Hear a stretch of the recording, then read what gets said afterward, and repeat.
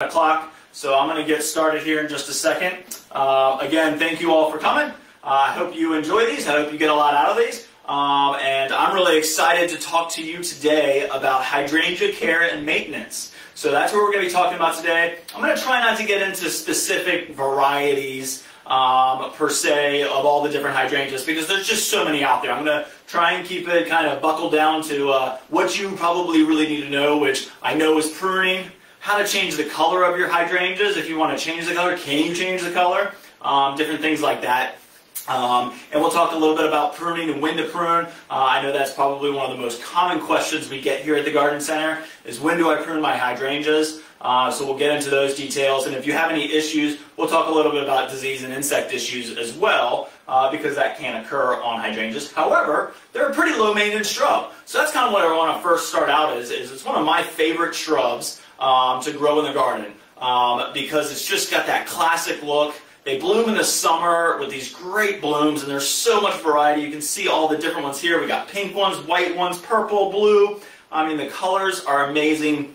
The size of the blooms can be enormous. I mean, this one's great. I will show all of these to you. Um, and there's just so many different types now, and there's so many new varieties that are coming out every year. So that's what's really cool about hydrangeas is they continue to evolve and continue to get better and better. Um, and so we're very, very excited to continue to offer a great uh, source of hydrangeas locally, as well as uh, some information on, on maybe you bought a house that has a hydrangea. Um, so great option there. Um, it's also a great uh, cut flower. So it makes an amazing cut flower. I'm sure if you have a hydrangea, you get so many blooms. They make great cut flowers. They're very easy to cut. They usually come on a nice long stem. You can make great arrangements with just hydrangeas or adding them into another floral arrangement. Very, very easy to use um, for that purpose, um, as well as just an amazing plant in, in the landscape. Now you can also grow them in containers. There's a lot of new varieties out there. I mean, really, you can grow almost any of them in containers. Um, so if you've got a, a, porch or a patio or a deck, or you live in a condo and you just love hydrangeas, you still have the opportunity to grow hydrangeas. Um, most of them will grow in pots for many, many years. Um, so great option there as well to be able to grow them in containers. Um, let's talk about where we place hydrangeas in the landscape or what kind of requirements they like. Uh, for sure, they definitely love afternoon shade. So typically hydrangeas for the most part, are going to like morning sun and then afternoon shade. Um, so that is something to kind of remember when you're looking around your landscape, looking around your yard and where you might want to place them, um, that they get a little bit of afternoon shade. Now there's a couple varieties, some specifics that I'll get into here as we continue to go along that maybe might be able to take a little bit more sun. Um, but in general, they all like morning sun, afternoon shade. So again, you just want to protect them uh, for the most part during the hottest part of the day. So if you can get some shade on your hydrangeas uh, from that 11 noon noon uh, to about 3 or 4 o'clock, that's the, that's the hottest part of the sun. That's when we want to protect them. They also like moist soil. So uh, you want to think about that. If you've got a really dry, shady spot, hydrangeas are going to struggle there. Uh, even though they're in the shade, um, they might, you know, if, if you plant them around a big old tree that's got a big root system, might be difficult to get them established. It can be done just know that that's what you're going to be dealing with is a little bit more. You might encourage planting them with peat moss to help hold in some moisture, um, and then just realize that you might have to water them a little bit more. But we'll talk about that here in a second as I get into to, to planting them and how to plant. Um, but hydrangeas really, really do prefer afternoon shade. So that's just a general rule of thumb. If you see your hydrangea wilting excessively and it's wilting all the time, you might consider moving it. Um, so that might be something that you talk that we uh, talk about here when I get into the planting section. Is how do we transplant hydrangeas if we think we might have put them in the wrong spot? That can happen.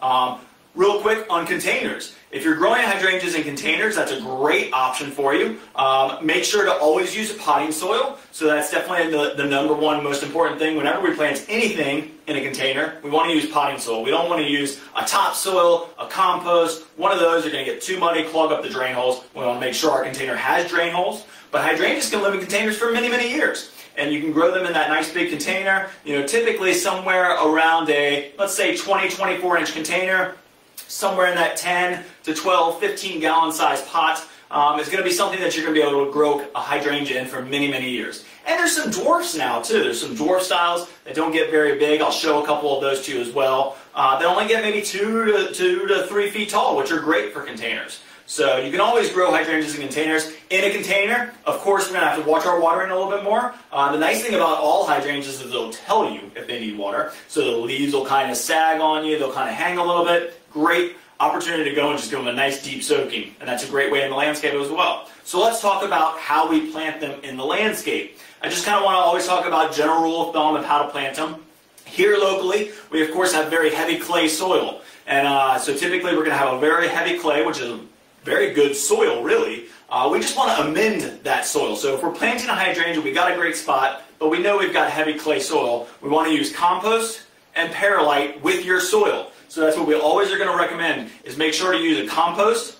You can use a lot of different types of compost. We have a McDonald uh, Garden Center compost. That's a great organic compost. Uh, you can also use mushroom compost, cow manure. There's a lot of them out there. We've got a lot to choose from as well. But you want to amend your soil with compost. So when you dig your hole, dig it a little bit wider, no deeper. We never want to bury our plants, so we never want to put the root ball below grade. So I'll give you a, a quick example of that. Got a hydrangea here. I don't want to bury the stems too deep. I want to put that soil that's on the top, so the root ball, when you take it out of this pot, you're going to have a root ball, and the top of that root ball needs to be level with your soil.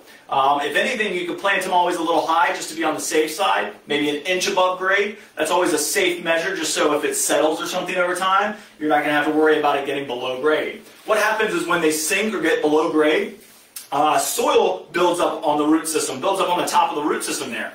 And that can cause the plant to suffer over time because all the little tiny roots that are on the top surface like to dry out quicker. Covering them with mulch is perfectly fine but we don't want to cover them with dirt. So never bury your plants, always plant them level, maybe a little high. Uh, so we're going to dig our hole wider, but no deeper.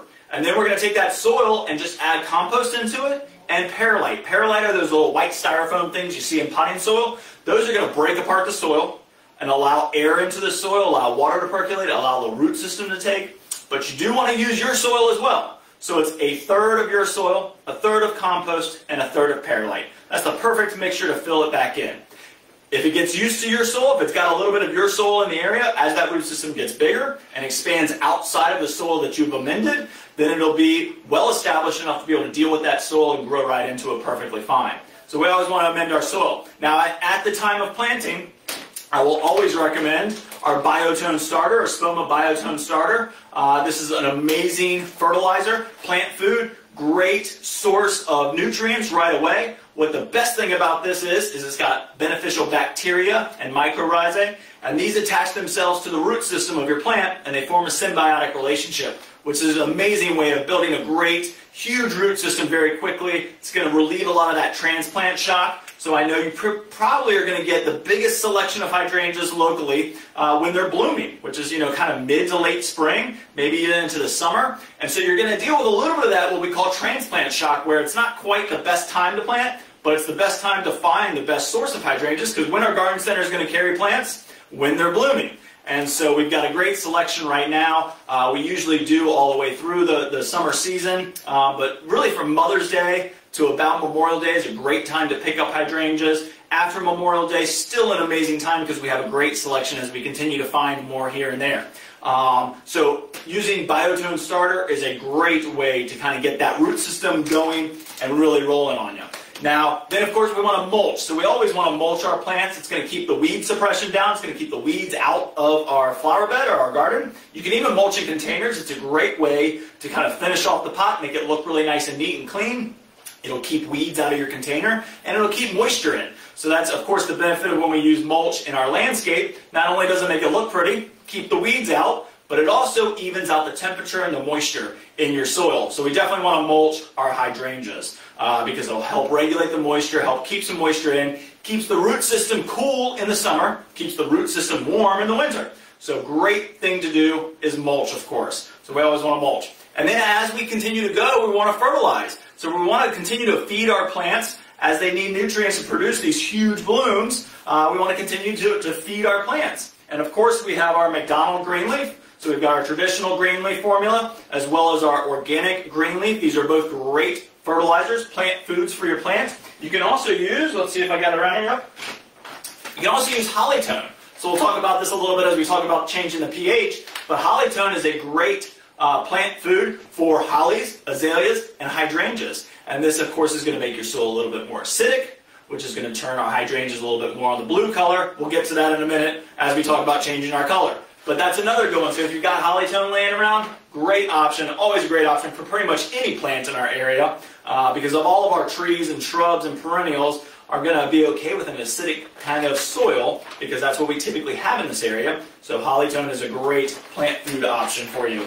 Um, but the McDonald Greenleaf formulas are amazing. I love them so much because they have some of those smaller trace elements that a lot of our soil lacks. So it's got magnesium and boron and copper and zinc and molybdenum and all these different things uh, that go along with the nitrogen, phosphorus, and potassium, which are important, the macronutrients. But then we've got micronutrients in ours. So these are a great option to be able to just feed all your plants, especially hydrangeas. So that's how we do that, and we typically are going to do these somewhere around the two to three mark, two to three week mark after we've used our uh, biotone starter. So we're going to use our biotone starter at the at the time of planting because we want to get those mycorrhiza and beneficial bacteria right to the source of the root system. So that's why we want to use this at the time of planting, then we're going to wait about two or three weeks and come back with just a regular plant food like our McDonald green leaf.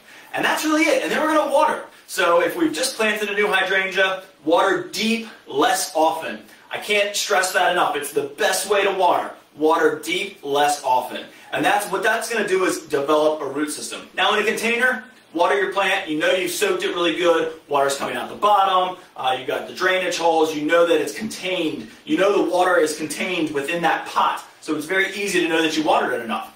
In the landscape, in the ground, it's a little bit more difficult to know how much we've watered it. So the best advice I can give you is to take a hose, drop it at the base of the plant, turn on the, the spigot, don't turn it on full blast, don't turn it on a tiny little trickle, um, and just let it soak. And typically, you know, this is going to be about a two or three gallon size container. Most of your hydrangeas are going to come in that size. Sometimes you'll get some one gallon, sometimes you'll get some five gallons, depends on the type of plant. But typically somewhere in the 10, 15, 20 minute range is how long we're going to let that soak. That's a really deep watering, but what that's going to do is get water all the way down to the bottom of the root system, but it's also going to allow you to not have to water every single day. We always want to water the root system, we never want to water the leaves. Most plants don't take moisture in through their leaves. They're going to take it in through the root system. So we always, we don't want to stand there with a hose and just broadcast it over top of the plant. We want to put it down at the base, water the plant, let it sit there, go do another task, go do some weeding, go do some cleaning up, do some pruning, and come back and move it to another one if we need to. And that's a great way to water your hydrangeas if you've got big old ones um, that maybe are a little stressed out during a drought time take your hose, drop it on there. You know, you might even be able to turn up the volume a little bit on your spigot to allow it to really get out there, but then you can really soak your hydrangea and you can leave it on there for 30, 45 minutes. Really give it a deep watering and then you won't have to water again for a long time.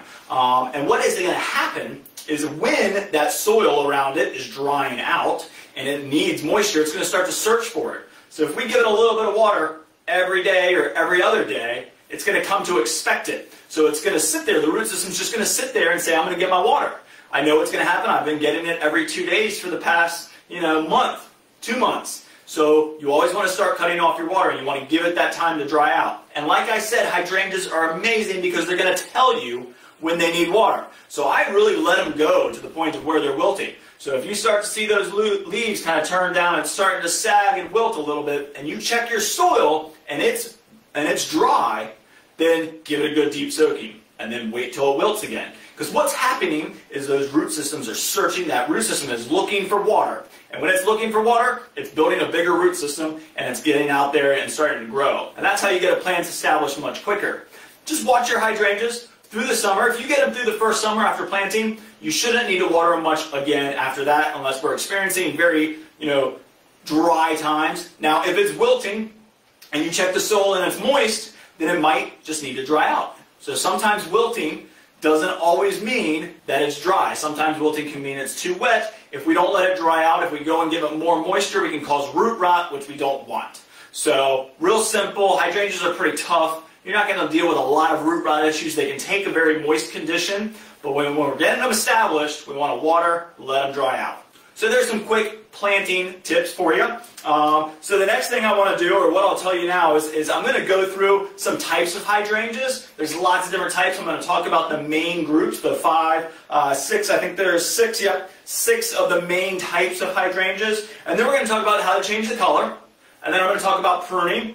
And then I'm going to talk about just general care and maintenance with disease and insects if we have any of those issues. So let's get into the types of hydrangeas. Types of hydrangeas, there's lots of them out there. I'm going to kind of corrugate them or I'm going to group them into six categories that might not make a ton of sense. And I'm not going to harp on it too much. I'm not going to spend too much time on this. Uh, I just want you to know that there are some varieties out there, uh, or some, some these groups out there, um, that are kind of important to note and might help you identify what type of hydrangea you have in your yard. I think that's one of the most common questions, like I said, we get is when do I prune my hydrangea? What type do you have is our next question. And then I don't know. So hopefully this helps you identify the hydrangea that you might have, or if you're thinking about getting one, the type that you might want.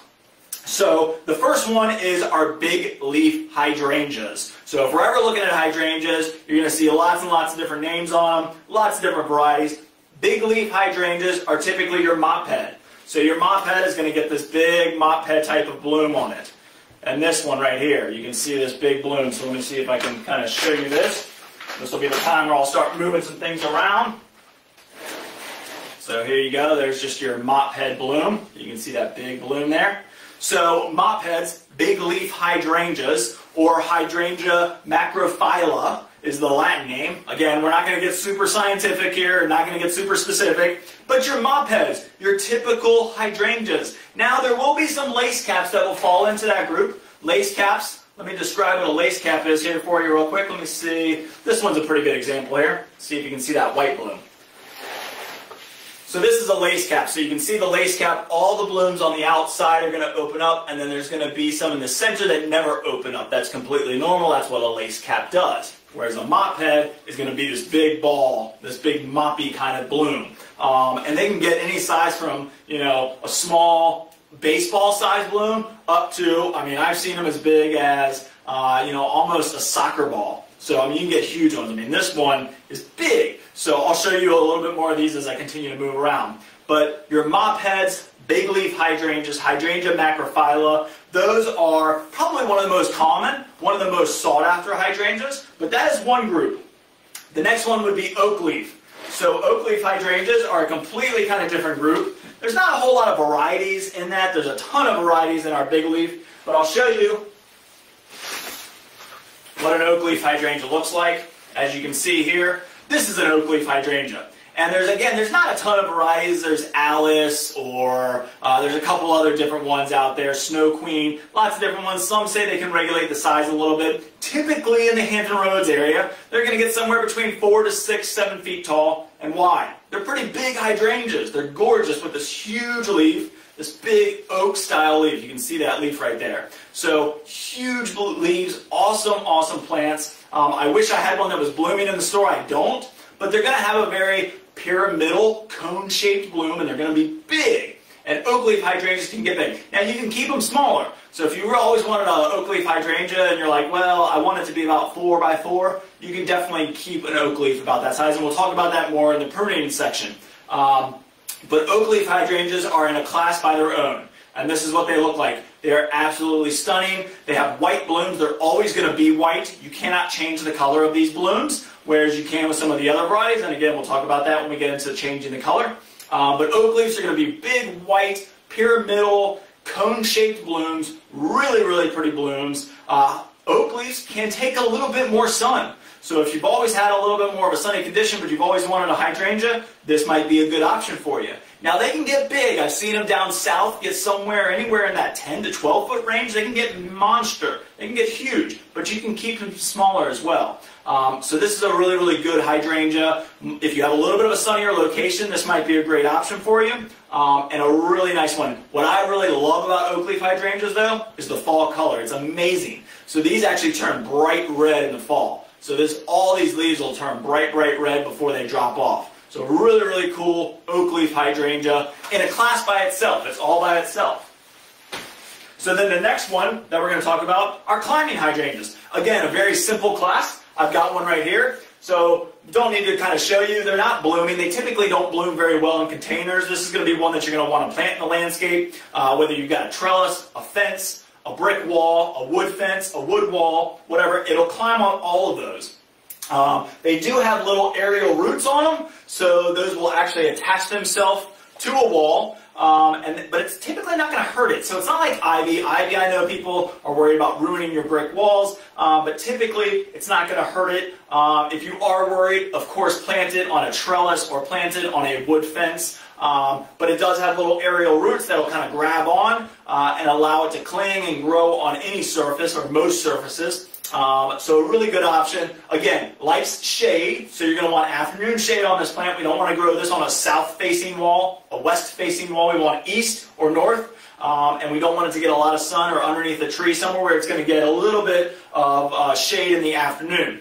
So climbing hydrangeas are in a group all by themselves. Now these will bloom almost always with a white bloom again. Uh, so a white blooming hydrangea. It's a vine, loves shade, and it gets a lace cap. So it's going to be more along the lines of what this bloom is doing here. It's going to be a lace cap, and they are gorgeous when the whole wall is in bloom. Just an amazing plant. Really interesting in the winter, so when the leaves fall off in the fall, late fall, early winter, um, really interesting bark texture, uh, really kind of a cool looking vine, whether you're growing it on a trellis or a wall. Really, really nice. It's not an overly aggressive vine, so it's not something that you can't maintain and keep smaller if you need to. Um, but I've seen them cover the entire side of an old brick home. And it's amazing uh, to see that hydrangea blooming um, in that mid-spring time frame is typically when these are going to bloom. Uh, somewhere around that Mother's Day to Memorial Day time frame is when uh, your, your um, climbing hydrangeas will bloom. Again, it's a white bloom. You can't change the color. Not much you can do there. There's a few different varieties. Typically, we're just going to carry just the climbing hydrangea. I know there's one called Moonlight that was pretty popular a while ago just because the leaf was slightly different. Um, but this is one of the most reliable blooming uh, climbing hydrangeas. It's just your typical climbing hydrangea. Again, they're in a group all on their own. Now the next one is going to be mountain hydrangeas. So what are mountain hydrangeas? I mean, typically, again, something that you're not going to hear about a lot. Um, it's Hydrangea serrata. Um, again, kind of don't worry so much about the Latin names or anything like that. Mountain hydrangeas um, are typically lace caps. So you're going to see more mountain hydrangeas that are more of this lace cap look. So here is a mountain hydrangea, just so you can see it. And you can see all those little lace cap blooms. I love lace caps. What's really cool about mountain hydrangeas is mountain hydrangeas are very tough. So actually this one is made by Proven Winners and it's called Tough Stuff uh, tough stuff, and that's because it's very, very durable. So mountain hydrangeas think, you know, they're dealing with a little bit more of the, the variable conditions. So typically going to get colder, so one of your colder, hardy varieties of uh, hydrangea are your mountain hydrangeas. Uh, typically going to be a lace cap, um, and typically are going to be repeat bloomers as well. So again, we'll get into that here in a minute when I talk about changing the blooms and all that different type of bloom stuff. Um, but mountain hydrangeas are a great option. Some are going to look very similar to a, to a typical big leaf hydrangea. They're going to be hard to identify. Again, we don't need to worry so, so much about all of these. You'll understand in a minute when I get to the pruning section why I kind of, I'm going to go over these um, so that you can kind of understand that. Again, you want a pretty hydrangea you've got lots and lots of different options, so we don't have to get too, too specific about specific types. Now, if you're further up north, and you want a very cold hardy, then mountain hydrangeas, uh, hydrangea serrata might be the better option for you. But again, most of them are going to be perfectly fine in all zones across the United States. They grow very well pretty much everywhere. The southern, southern tip of Florida, you might have a difficult time, and way up into Canada, you might have a time. Um, but pretty much all of the United States do very well with hydrangeas. I'll mention real quick, since I'm on it, the zones. They typically grow anywhere from zones 4 to 9. Uh, so right here in Hampton Roads, do very, very well. Further up north, you just want to be a little bit more careful. If you start to get into zones 4, or 5, you might want to look for a tougher one like the mountain hydrangea. So that's why I wanted to point that one out. Now we're going to talk about the panicle hydrangeas. So the panicle, um, which are hydrangea um, paniculata, um, so again, Latin names, don't worry about it. But these are going to be probably the ones that I think a lot of people are really excited about these days, which are going to be like your limelight hydrangeas, your white blooming. Uh, it's going to have that cone-shaped flower. So this is a paniculata right here. I'll I'll pull this one over so we can see a little bit better. Now this one's, I believe, called, I want to say it's uh, Flame. Um, so let me check out the name. Lava Lamp Flare. So this one, but really what I want to show you is this is what a paniculata looks like. A panicle style hydrangea. Now again, this is just coming out. We don't have a lot of blooms on it yet, uh, but you can see that pyramidal cone-shaped bloom. So let me hold that up with the background so you can kind of see it. So it's a cone-shaped bloom, and these can get large. They can get lots of different uh, um, uh, styles. They're almost all white. So PG is another name you might have heard of. PG hydrangeas is what some people will group all the panicle style hydrangeas together. If you've ever seen a tree style hydrangea, the trunk with the top the little lollipop top with all those white blooms all over it, that's a panicle style hydrangea. Limelight is what you're seeing back here. So again, these blooms are just coming out, so you can't quite see all the color because, or all the white of the bloom because they're just starting out. Now they're called limelight because they have a limeish color to them. Um, but um, there's lots and lots of different styles of these out there. There's Little Lime, Limelight, they get pretty good size. This one's called Lava Lamp Flare. There was one called Strawberry, I think, for a little bit. Uh, so again, there's a lot of different varieties out there. Now, what's really cool about this group of hydrangeas is if you ever really want to try a hydrangea in full sun, this is probably one of the most durable. So your panicle style, your paniculata, your PG hybrids of uh, hydrangeas this is going to be your best shot of doing them in full sun. And I know a lot of us are very excited about these. There's a lot of different types out there. Uh, they're very easy to grow. They're very low maintenance. Um, they do require, of course, you know, the same requirements of a little bit of moisture. Now you can grow these in shade too. So if you got a shady spot, they do amazing in shade. Um, so one of the best shade plants out there. Uh, but this is another type of, of hydrangea is the panicle, pyramidal blooms, cone-shaped blooms, always white. Um, we'll talk about pH here in a minute that might affect these a little bit. Uh, but other than that, that's pretty much it on the panicle style. So again, I want to try and get through all these different styles so that I can start to talk about some of the information that you probably really want to know, which is how to prune them and how to change the pH and all those different types of things.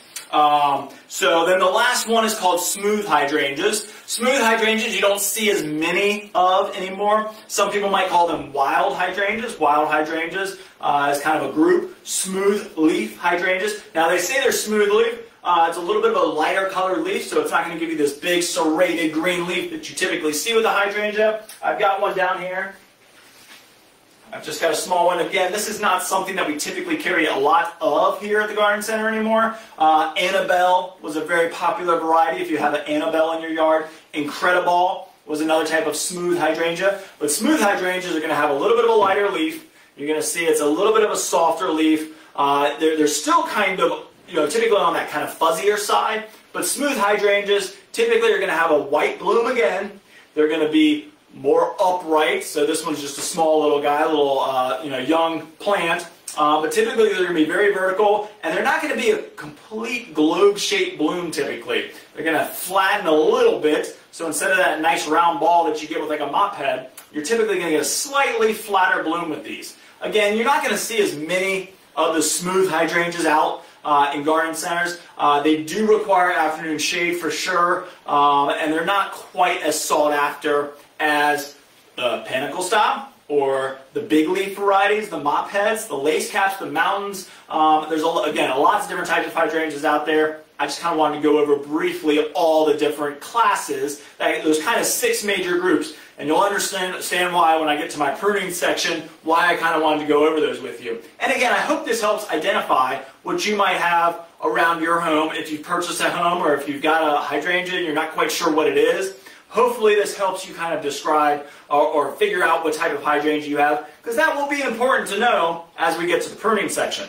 So we've got big leaf, your mop head hydrangeas, oak leaf, a class by their own, climbing hydrangeas, a class on their own. Then we've got the mountain hydrangeas, which are going to be very similar to a, a big leaf as far as the leaf look and the look of the plant. Um, very, very similar.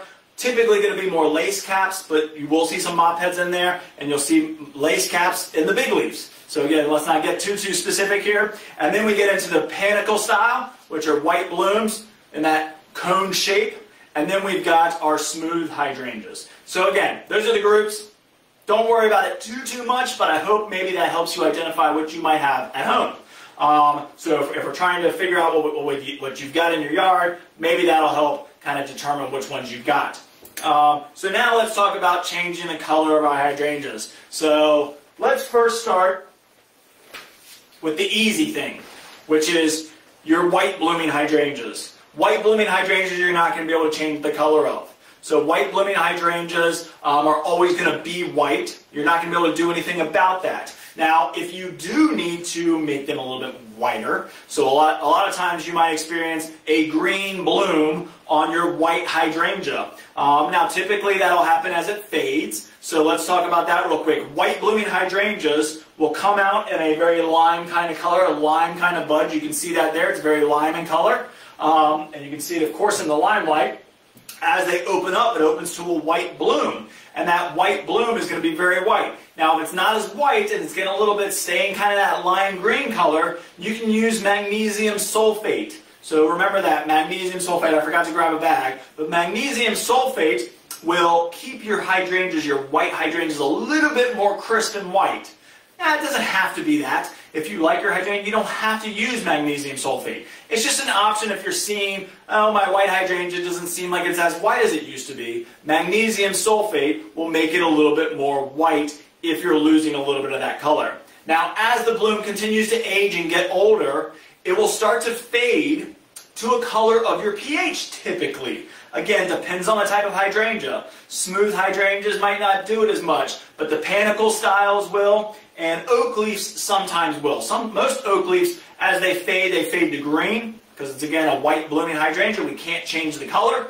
But on your panicle style, they'll always fade to either a light blue, if we have acidic soil, or a light pink, if we have alkaline soil. So it's a great way of kind of telling what kind of soil you've got as your color fades out of your white bloom, as it starts to get older and that bloom starts to get older, it'll fade to one of those colors depending on your pH.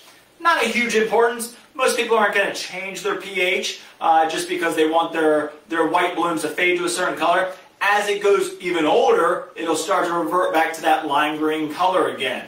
And then, of course, it'll die off. Um, it'll go dormant. Um, the bloom will fade and go brown. And we'll talk about that in the pruning section about if we need to prune that off or not. Um, but that's your white blooms, so you really can't do much with them. Um, a, a, very famous one, I don't have any in stock right now, um, but it's called Blushing Bride. Blushing Bride is the reason they call it a Blushing Bride. Now it's a mop head, it's a big leaf hydrangea, but Blushing Bride will blush to that color depending on your pH. So there's white hydrangeas even in our big leaf varieties. So again, whites are in almost all of them, um, but uh, typically you're going to always get white and you're not going to be able to change the color of that bloom. All you can change is the pH, or change the, the fading color, the blush color that comes at the end of that bloom cycle. So let's talk about our mop heads. Um, our big leaf hydrangeas, the ones that we can change the color. Those are, again, determined on pH. So pH, of course, is a range of 0 to 14. I think we all know the scale. Um, hopefully nobody's at a 0 to 14. That would be bad. Uh, we're typically in Hampton Roads somewhere around a 4.5 to 6.5, somewhere in that two-point range. 4.5 being pretty low, uh, 6.5 being very average, 5.5 is right about where we almost all are. If we planted a hydrangea in this area and you drive around and see hydrangeas, you almost always are going to see blue hydrangeas. It's very common in this area. If you plant your hydrangea and you get blue, you know that your pH is below a 6. So that's where our range, so you would think 7 or below would be, it is acidic, would be blue. But really, in the 6 down to 4, 3, is going to be blue. So those are going to be, that's going to be our ranges. Anything below a 6 is going to be a blue hydrangea. Anything between a 6 and a 7 is going to be a mix of pink and blue or purple. So typically some hydrangeas will get more of that purple color. And you can kind of see that right here with this bloom. You're going to get a little bit of that mauvey kind of purple color. Or you're going to get a shrub that has pink and blue blooms on one plant. That can happen when our pH is in between 6 and 7. Anything above a 7, then we're getting into the pink range. The higher we go, the more we get into like the reds. So if you see this kind of reddish color bloom here, that's as we get it higher into pH. Um, so again, we can change the color of our, of our hydrangeas. Now if you've got a pink or a blue hydrangea, and you want to go the opposite direction, what do we need to do to our soil to change the pH? So lime, of course, is what we use to change our pH if we have acidic soil and we want to bring it up. And so I brought this package just because it shows a pink hydrangea on it. Um, soil acidifier um, is sulfur. So let's see, do I have that? Yep. So we've got aluminum sulfate, which is one type of sulfur, or just regular soil sulfur. Um, and of course, Espoma makes one as well called soil acidifier.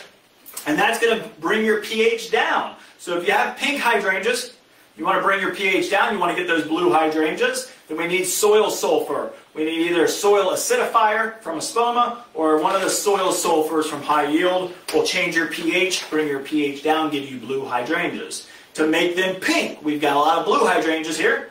We have very acidic soil, so if you want to bring your pH up, you can use garden lime, which will bring your pH up. So that's a good option. Now, if you want to do it a little bit quicker, and I'll talk about speed here in a second. I don't know if I grabbed that. There. Mag-I-Cal. So Mag-I-Cal is basically calcium, but it does the same thing as lime. It's going to raise your pH, and it does it much faster.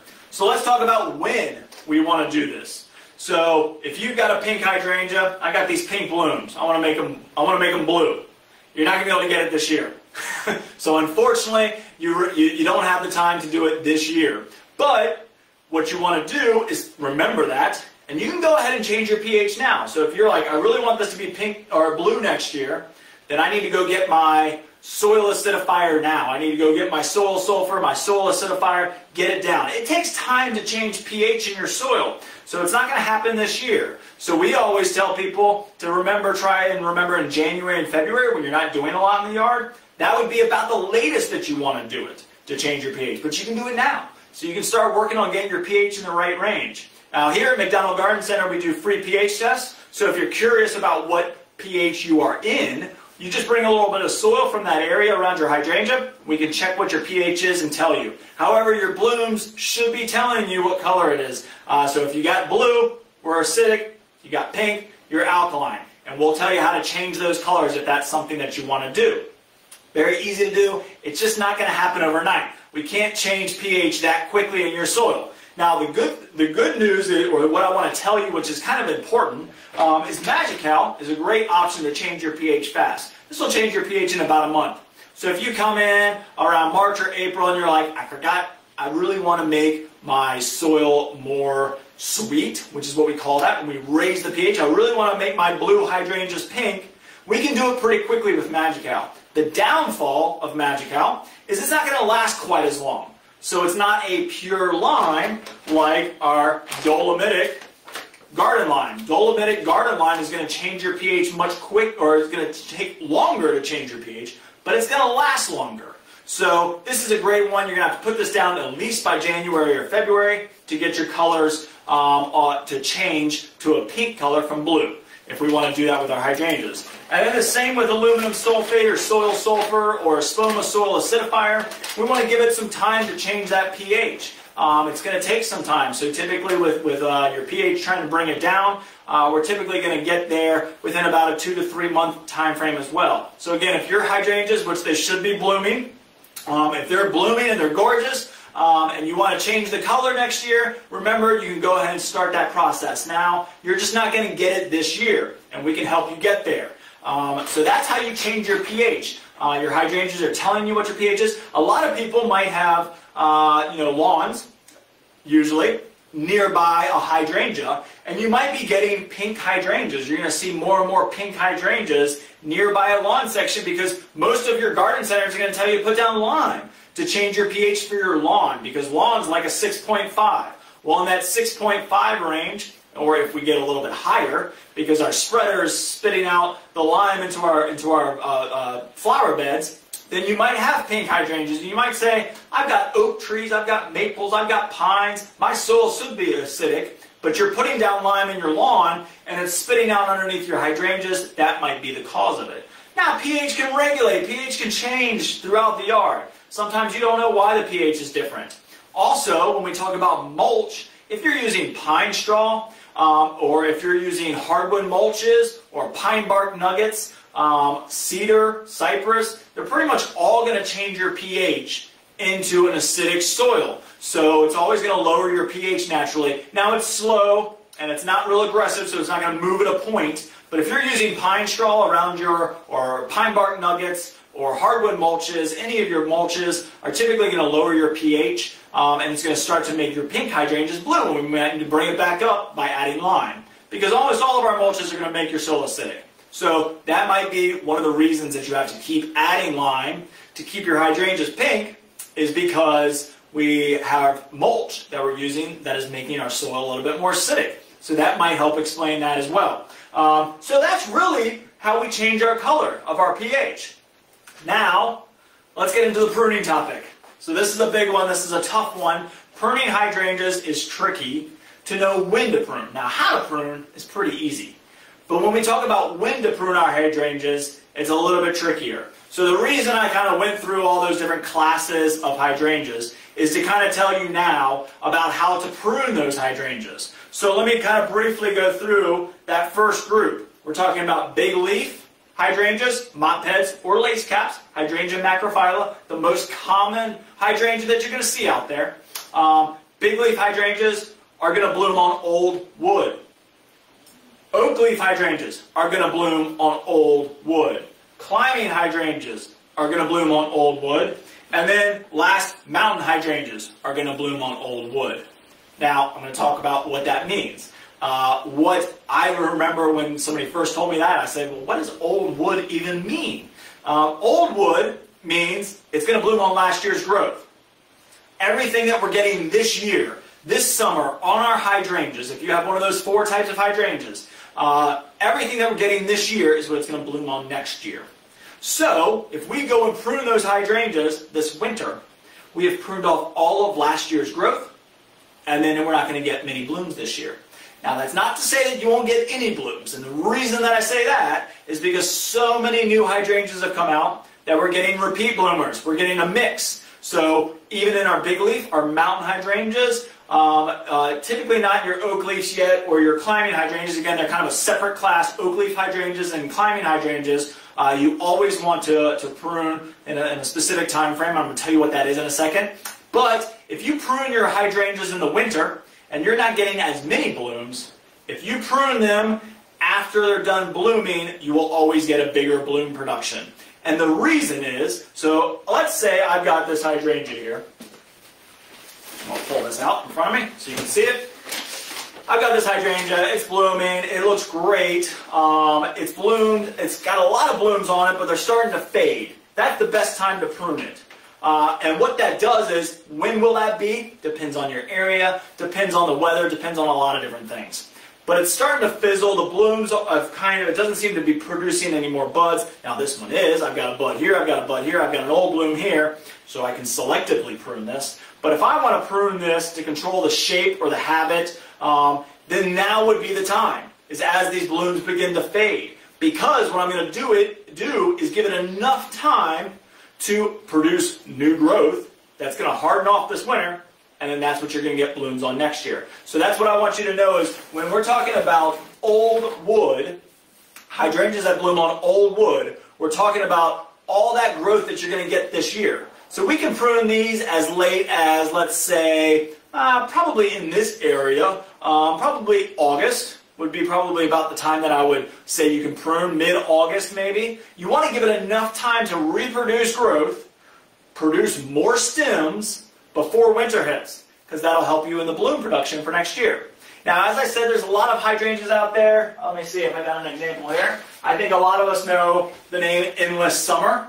Endless Summers are repeat blooming hydrangeas. There's a lot of varieties out there. Almost all varieties that you're going to get these days are going to be repeat blooming hydrangeas. And what that means is it'll bloom on old growth and new growth.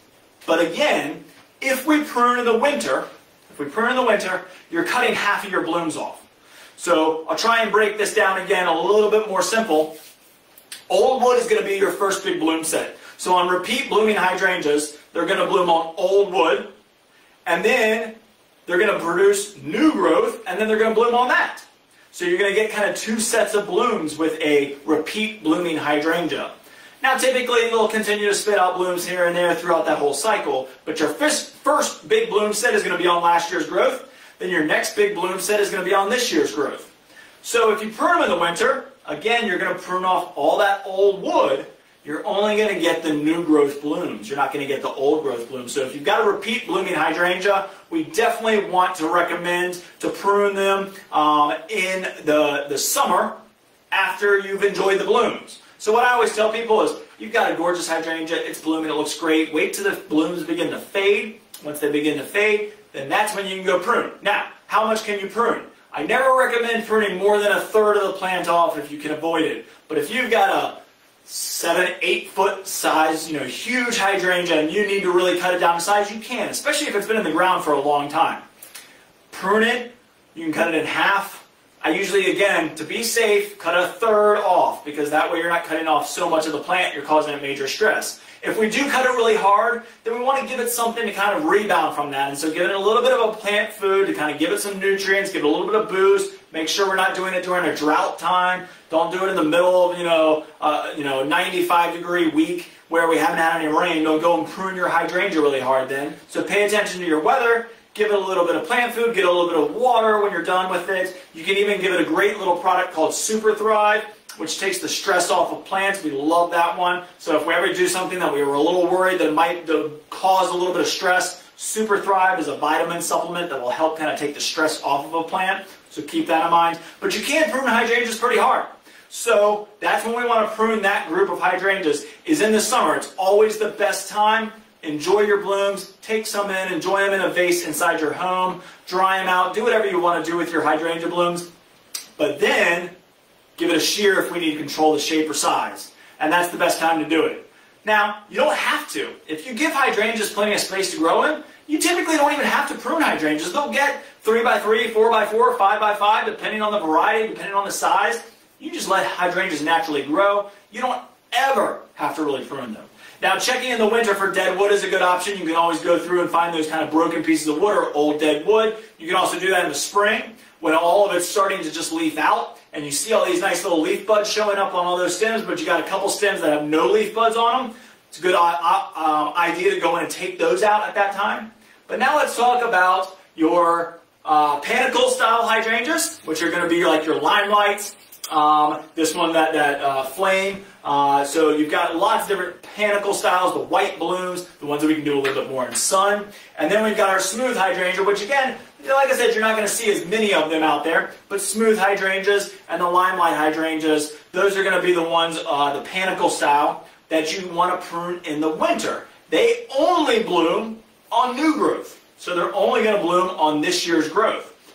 So by pruning it in the winter time frame, you're going to get nice big shoots coming out in the springtime, and that's what you're going to get that big huge bloom set on. So if you've got a limelight hydrangea, you want to prune that this winter. So you want to prune it late winter, early spring, somewhere in that uh, let's say February, March time frame, depending again on your zone. The best way to also tell is, okay, I'm starting to see buds cracking. I'm starting to see the leaf buds starting to crack out of that stem. That's a good time to go ahead and prune it.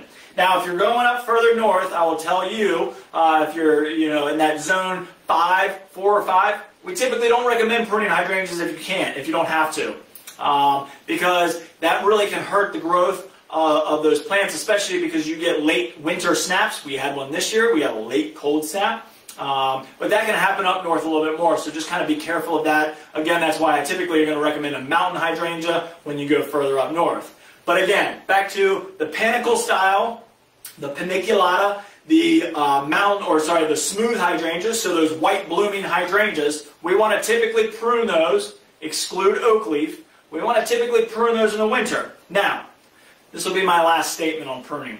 Uh, well, maybe the last.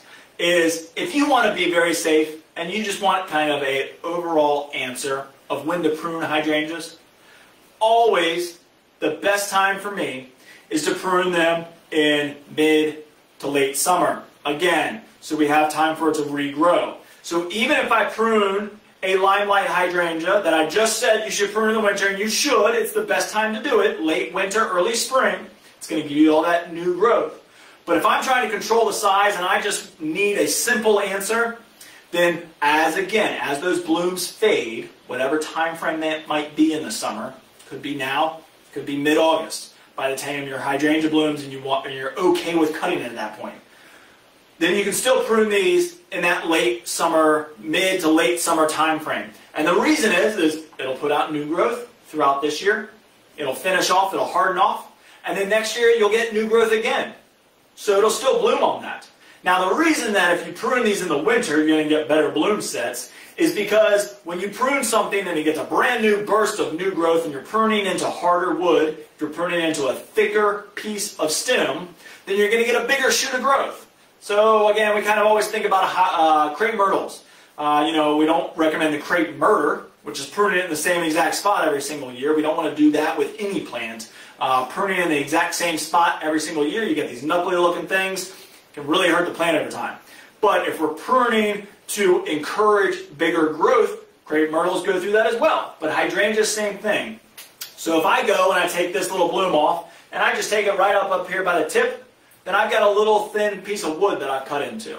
Now if I go down this stem, and I go into some thicker wood and cut it off, one, I've got a little bit nicer flower to use in a vase because I've got a longer stem. But from that thicker wood, I'm going to get a bigger shoot. I'm going to get a much stronger shoot of new growth, which is going to help when it's producing bigger blooms. So in the winter, if we can prune these in the winter, the panicle style, limelight, is the most common one there. Um, little lime is another good one. Uh, but if we're pruning our panicle style or our smooth hydrangeas in late winter, it's going to erupt in the spring with big new growth, and then you're going to get nice big blooms on it. Now, if we prune those in late summer, you're still going to get new growth on them. It's going to harden off, and it's still going to produce blooms on it next year. Uh, it just might not be quite as vibrant as if you waited until the, the winter to prune it. So two time frames, but in general, in general, just to be safe, we always want to prune hydrangeas after the flowers fade off. So again, sometimes that can be in the summer. If it's really, really intense heat, we just want to be careful. Wait a week, make sure it cools down. I see we're going to get some rain. Maybe it's a good time to prune because I see I'm going to get a good rain shower in the next couple days. So always be paying attention to that. Be mindful. If the plant is stressed out because we're in a drought or a very hot time frame, you wouldn't want to get cut either. So think about your plants, think about how they're feeling, and that'll kind of help you tell when the best time to, to, to prune them. And again, always ask us if you've got a question. Um, as far as like time of the day, you can prune hydrangeas really any part of the day. Again, if it's 95 degrees, full blazing sun, and the plant isn't in some shade, then maybe wait till the morning or the evening to prune it. Doesn't necessarily matter about the date or, or the timing of when you prune. Um, now, again, how much we prune is up to you. If we're just deadheading it, if we're just taking a bloom off, that's fine. You can do that anytime. I've got a plant, it's gorgeous, got lots of blooms on it, it's got one that's fading on me. You can go in there and snip that off. So if you like to work in your garden, but if we're trying to control the size, which I think is what most people are trying to do with their hydrangeas. It's gotten too big, I need to cut it down, I need to control the size of it. Then we always want to wait until the blooms fade in the summer and prune it then. Unless you know specifically what type of hydrangea you have, and if you know that you've got a panicle style, then if you can wait till winter, late winter, early spring, that's the best time to prune those.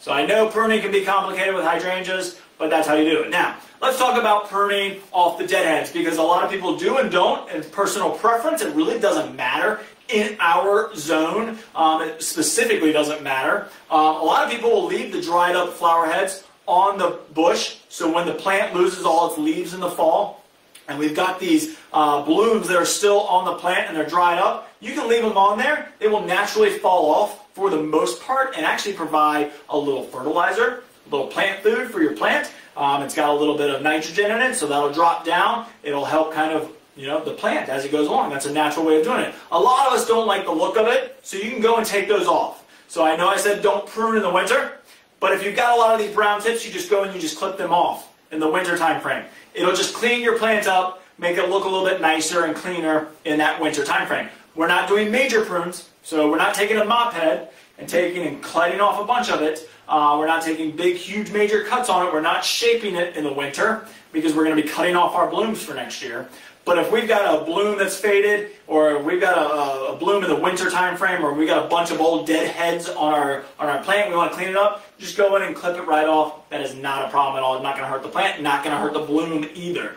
If you want to know a specific set of leaves to go down to, I usually say go to the second set of leaves if we're just taking off dried up blooms we're just taking those off. Um, you can do it down to the second set of leaves, so you're going to see a leaf node in there. So go not to the first one, but the second one, perfectly fine there.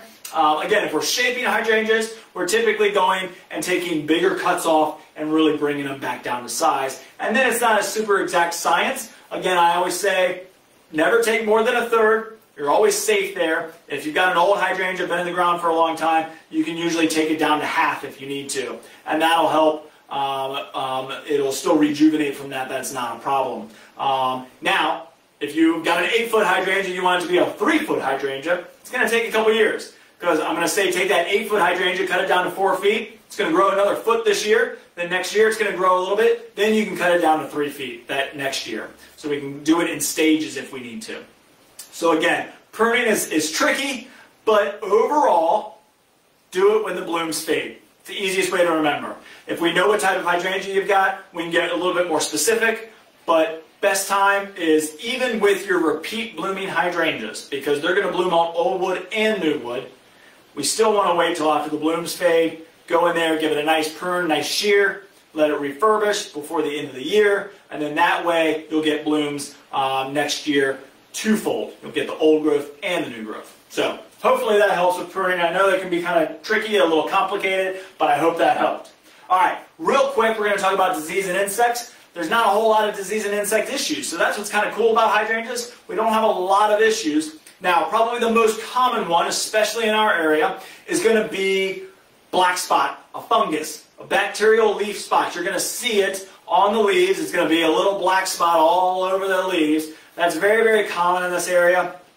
What can happen, it's spread by air. So again, we have windy conditions, we've got wet, overcast conditions that just help spread that disease. Um, but it's easy to cure. And so what you want to use is, get my treatments up here, is a broad spectrum fungicide. So this is our Fertilome broad spectrum fungicide.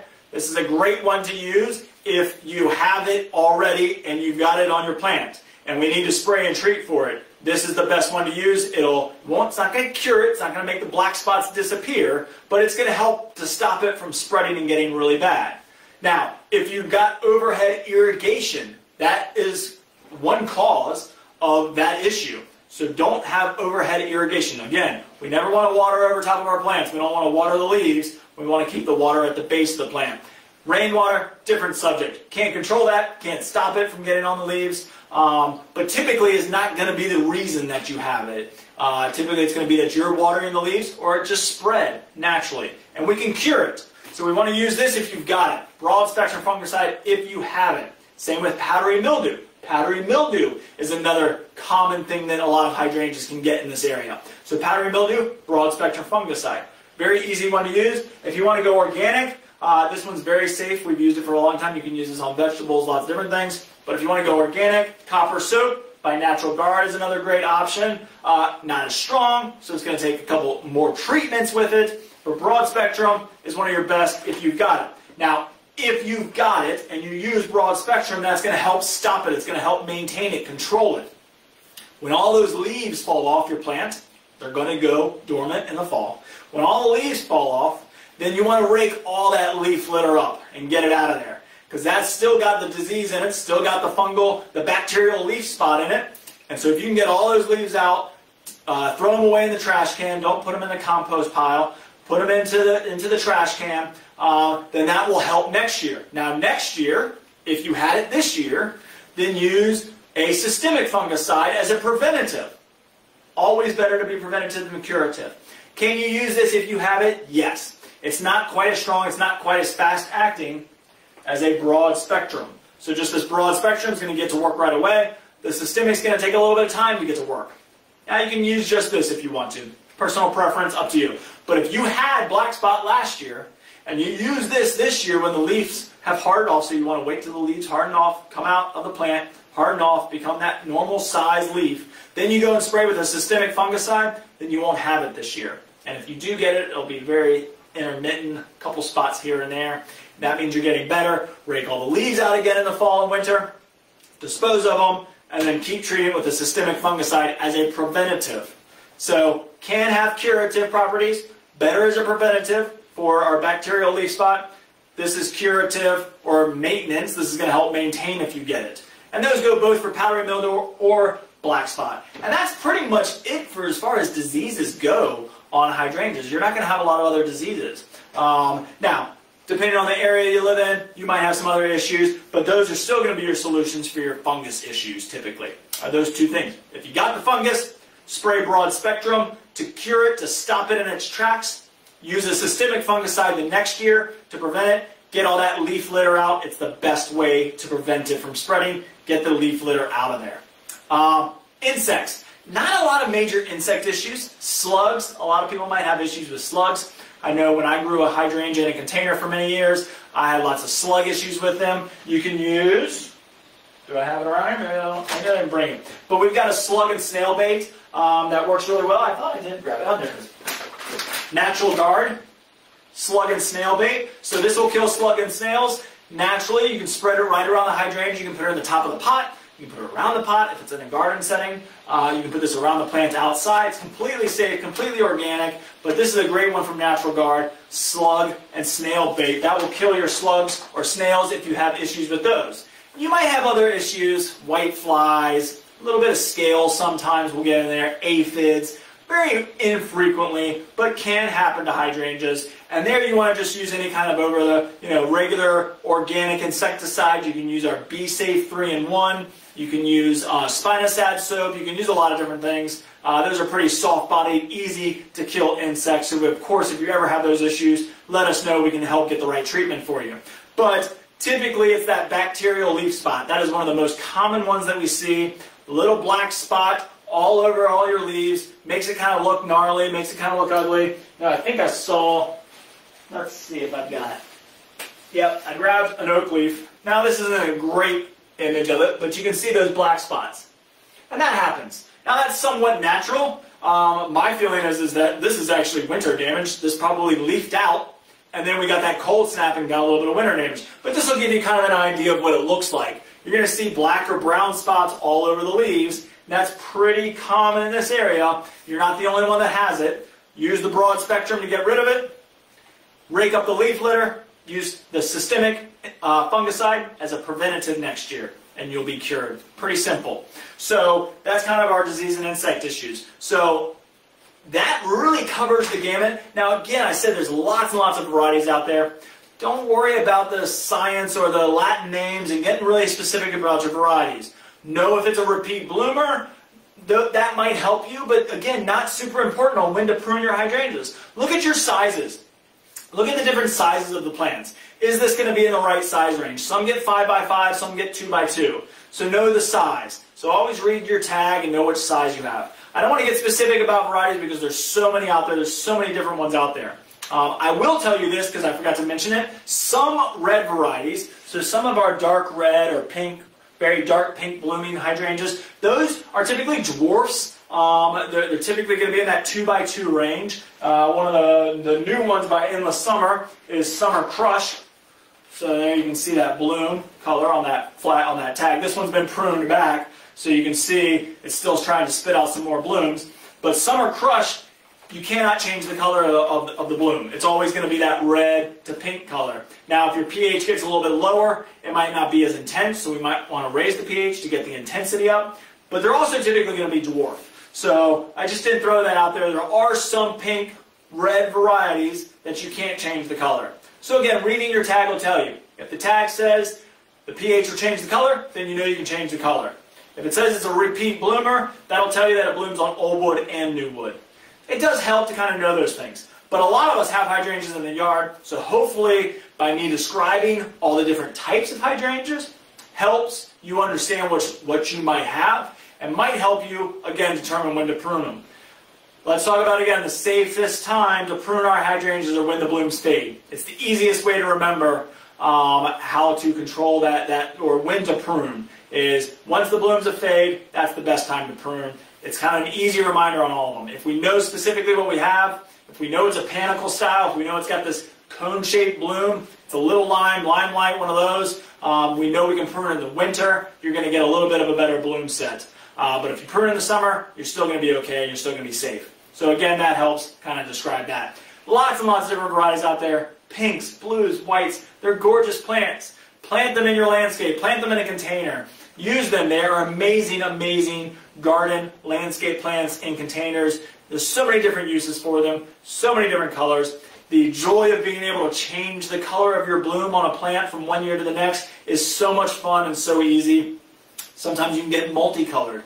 You know, I've taken and thrown lime underneath one of my hydrangeas on just one half, and then the, the blooms come out in this multi, multicolored shrub. It's really cool because we've got different pHs working in that area do lots of different things. You can change it. You can have fun with them. They're easy to prune. You don't have to prune them. They're very low maintenance once you find the right spots.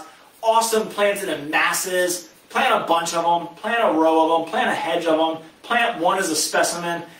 Put some hydrangeas in your yard is what I'm saying. They are awesome, awesome plants. Um, so I know that you probably have lots of questions. I'm going to come over and start answering some of your questions. Hopefully they're still on there. Um, I hope you enjoy this. I hope you got a lot out of this. Um, I know it's a, it's a tricky topic sometimes for us to understand. I hope the information that I gave you helps determine exactly what you need um, to, to change your pH, to prune your plant properly. I hope all of that helped. I will come over and answer your questions now. If you take off, thanks for coming. Thanks for seeing us. Uh, thanks for tuning in. We'll be here again uh, this Friday. We've got another seminar at 11 o'clock, and then we've got two next week for National Pollinator Week. We've got pollinators coming. Um, so we've got two on how to attract pollinators to your yard using plants or accessories. So those will be two fun uh, seminars as well next week. So as we kind of uh, encourage our pollinators to stick around.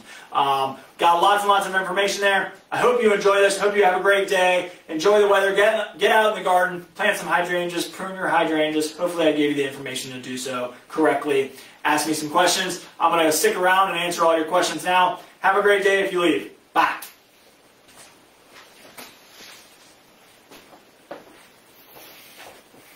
Okay. So I'll try and look up at the camera, not down too much. But I'm going to go through and see if I can get the questions answered here. So I know um, some of the questions sometimes filter off of this um, as we continue to go along. So if I don't answer your question, um, I will go back um, as soon as I end this live seminar and go and answer your questions then. Um, so if you want your question answered and I missed it before and it doesn't seem like I'm getting to it, um, it's not because I'm ignoring it, it's just it filtered off my, my view. Uh, we haven't quite figured out how to be able to continue to view all the comments. Um, so Ashley says, I've been growing Lily of the Valley since, 2000, uh, since 2013 and I just lost it. Okay, let me go down a couple. I have a couple of Annabelle hydrangeas and the blooms get so big they fall over when it rains. Should I stake them? You can. Annabelles are smooth hydrangeas. Smooth hydrangeas uh, can be pruned in the winter. So know that with your Annabelle. Prune it this winter. Try that if you're not doing that already. Um, what that will do is encourage growth to come out of stronger wood. And when you get bigger, stronger growth out of that stronger wood, it should be able to withstand holding up those blooms. For right now, yes, you can stake them if you want to. If they start to dry up and you're going to prune it now, what you can do, just prune it a little bit deeper so you get stronger wood coming out of it. Uh, that might help with holding up those blooms. That's a smooth hydrangea. That's very common with smooth hydrangeas if you're not pruning them in the winter time frame. So that's a specific one that you can do with that.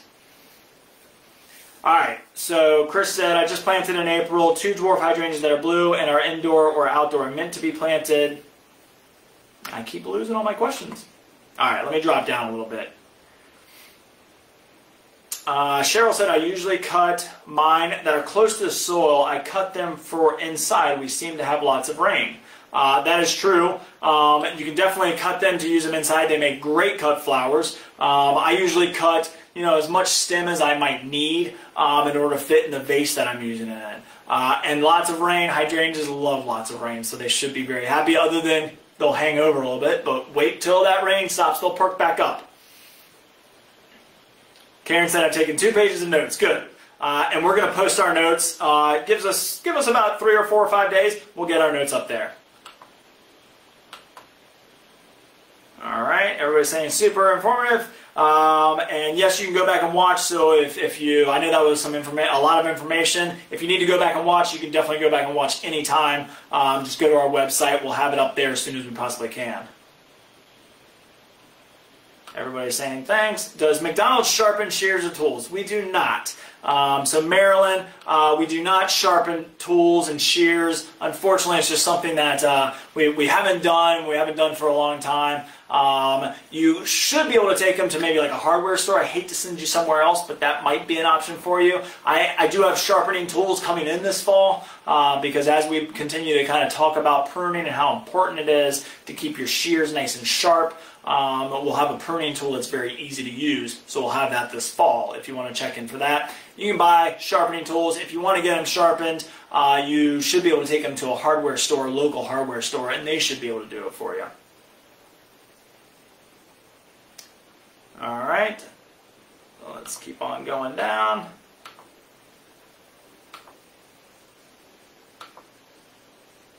How do I propagate them? I put branches in soil and, they, and they're rooted. Is there a way I can take a clipping off and start new plants? I tried two clippings, but I'm not sure I'm doing it right. Uh, propagation is not my forte, I guess you could say. Um, I don't know a ton about it. Here's how you do hydrangeas. Um, I do know how you can do hydrangeas. Hydrangeas are fairly easy to propagate. Um, so what you want to do is, let's see if I can do this real quick for you. Give me one sec. Get my pruners out, and let's see if I can find a piece of wood here that I can show you. So you always want to propagate from green stems. So you see that nice green stem right there? That's what we want to propagate from is that green stem. We don't want to use a brown woody stem. It's not going to work as well. What I'm going to do is I've cut, as you can see, about six inches. It depends on how much you cut. I typically say about six to eight inches. Um, I'm going to take these lower leaves off. So we're just going to pull these off. And then I'm going to make a cut at a 45 degree angle so that I've got this nice, let's see if you can see that. See that 45 degree angle? So I've got that nice cut. What that's going to do is give you a little bit more surface area. Then get a rooting hormone if you can. That would help. You don't have to have it, but that does help. And then dip it in water, dip it in the rooting hormone, put it in some soil. And then you want to keep it kind of evenly moist. Now, some people are going to say to cover it in a bag or something. You can do that. If you're doing it right now, keep it outside in a shady spot in some nice potting soil, professional potting soil like our McDonald potting soil. Um, I might recommend all-purpose potting soil because it does dry out a little bit better. It's better for seed starting or propagation than our natural and organic potting soil. Natural and organic potting soil has a aloe wetting agent in it, which might make it stay wet too long. But that's what you want to do. Some people will say only keep two leaves on it, so you can take it up to there and just keep those two leaves on it. But that's what you want to do. Cut it at a 45 degree angle. Then in about two or three weeks, just go and give it a little tug on it. And if you feel like there's some resistance, then you've got roots and you've propagated your hydrangea. And that's how you do that. I will tell you, it's a, it's a slow process, it's a painstaking process. A lot of times people experience rot with it. Uh, that can happen. I don't recommend sticking it in a glass of water on the windowsill and seeing if it roots out. That typically doesn't work very well with hydrangeas. So that's how you would do with hydrangeas. That's as much information as I have on propagation. I apologize. Uh, if you do go on the websites, on websites, always check out your EDUs. I always tell you, uh, you know, use the, the websites that you know are going to have knowledge. So anything that ends in EDU is going to come from a school, um, uh, a college that's going to have good educational uh, information on there. So Virginia Tech might have something on propagating uh, hydrangeas, but also uh, you can check out some of the best growers websites. Maybe Monrovia or Proven Winners um, is going to have something on that. So don't just go on a gardening website that maybe doesn't have great information. Check out some of your, your bigger uh, uh, uh, colleges or your uh, bigger companies that are talking about them. They might have a little bit more. I just, I'm, I'm just never been a propagation expert. It's something I need to learn, but I do know that much on hydrangeas. Cut about six to eight inches stems, take off the bottom leaves, have a couple of leaves on top. You do want to keep these. Rooting hormone, 45 degree angle, put it in some soil. That should propagate your hydrangea for you. All right, so let's see where we're at now. I know I answered, that took me a while to answer that one.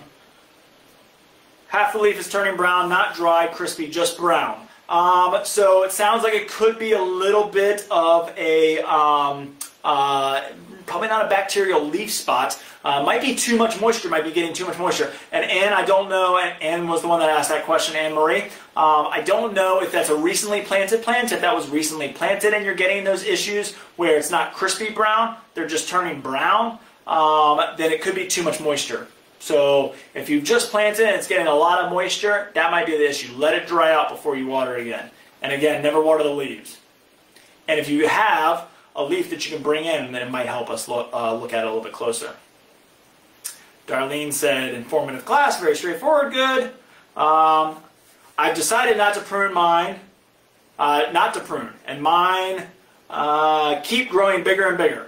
Beth uh, or Karen, I think, was replying to Beth's comment. Yeah, if you don't prune them, they can get huge. Um, so Karen, Karen found our videos, and I think is calling her husband the plant butcher. um, so everybody's saying great information. This has been perfect. See some comments about pruning and different uh, people saying people are, are uh, pruning their crepe myrtles too hard. Mary, thanks for your great comment. Thank you very much. Um,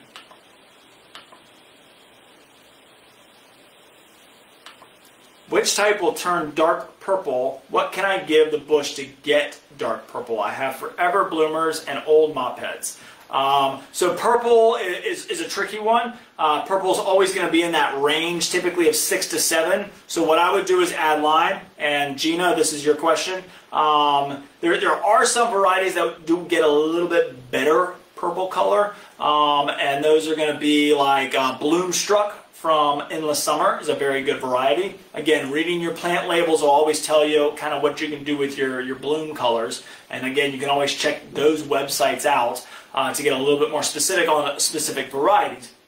But your range of, of, of pH is going to be anywhere from that 6 to 7. And you're going to want to be pushing that 7 range to get the darker purple. Um, so uh, try that. See if you can get a little bit higher in that pH with your lime, and that should push that purple color a little bit more. Um, and then for the forever bloomers or old mop heads, um, might be a little bit trickier. Again, just playing with your pH and seeing if you can get it right. You can also buy a pH tester. They're very inexpensive. Put your pH tester in the area, get you kind of a little bit close to where you need to know. Most of the local garden centers, I know we do it, but if you don't live in the area, most local garden centers um, uh, do free pH testing. Um, which will get you a little bit more specific, and you're going to want to get a little bit more specific about what your pH is um, and how much to apply. Um, and again, all your packages will tell you how much to apply. Typically, a cup to two or three cups of lime, depending on the size of the plant, is how much you want to use to change your pH a point. But if you need to change it 0.5, we need to look at that. So if you can get real specific on what type of hydrangeas you have or um, what, what pH uh, you're dealing with, then we can get pretty close to getting that darker purple color. Maybe we'll get up into the pink range and we got to bring it back down. It's going to take some time to figure that one out.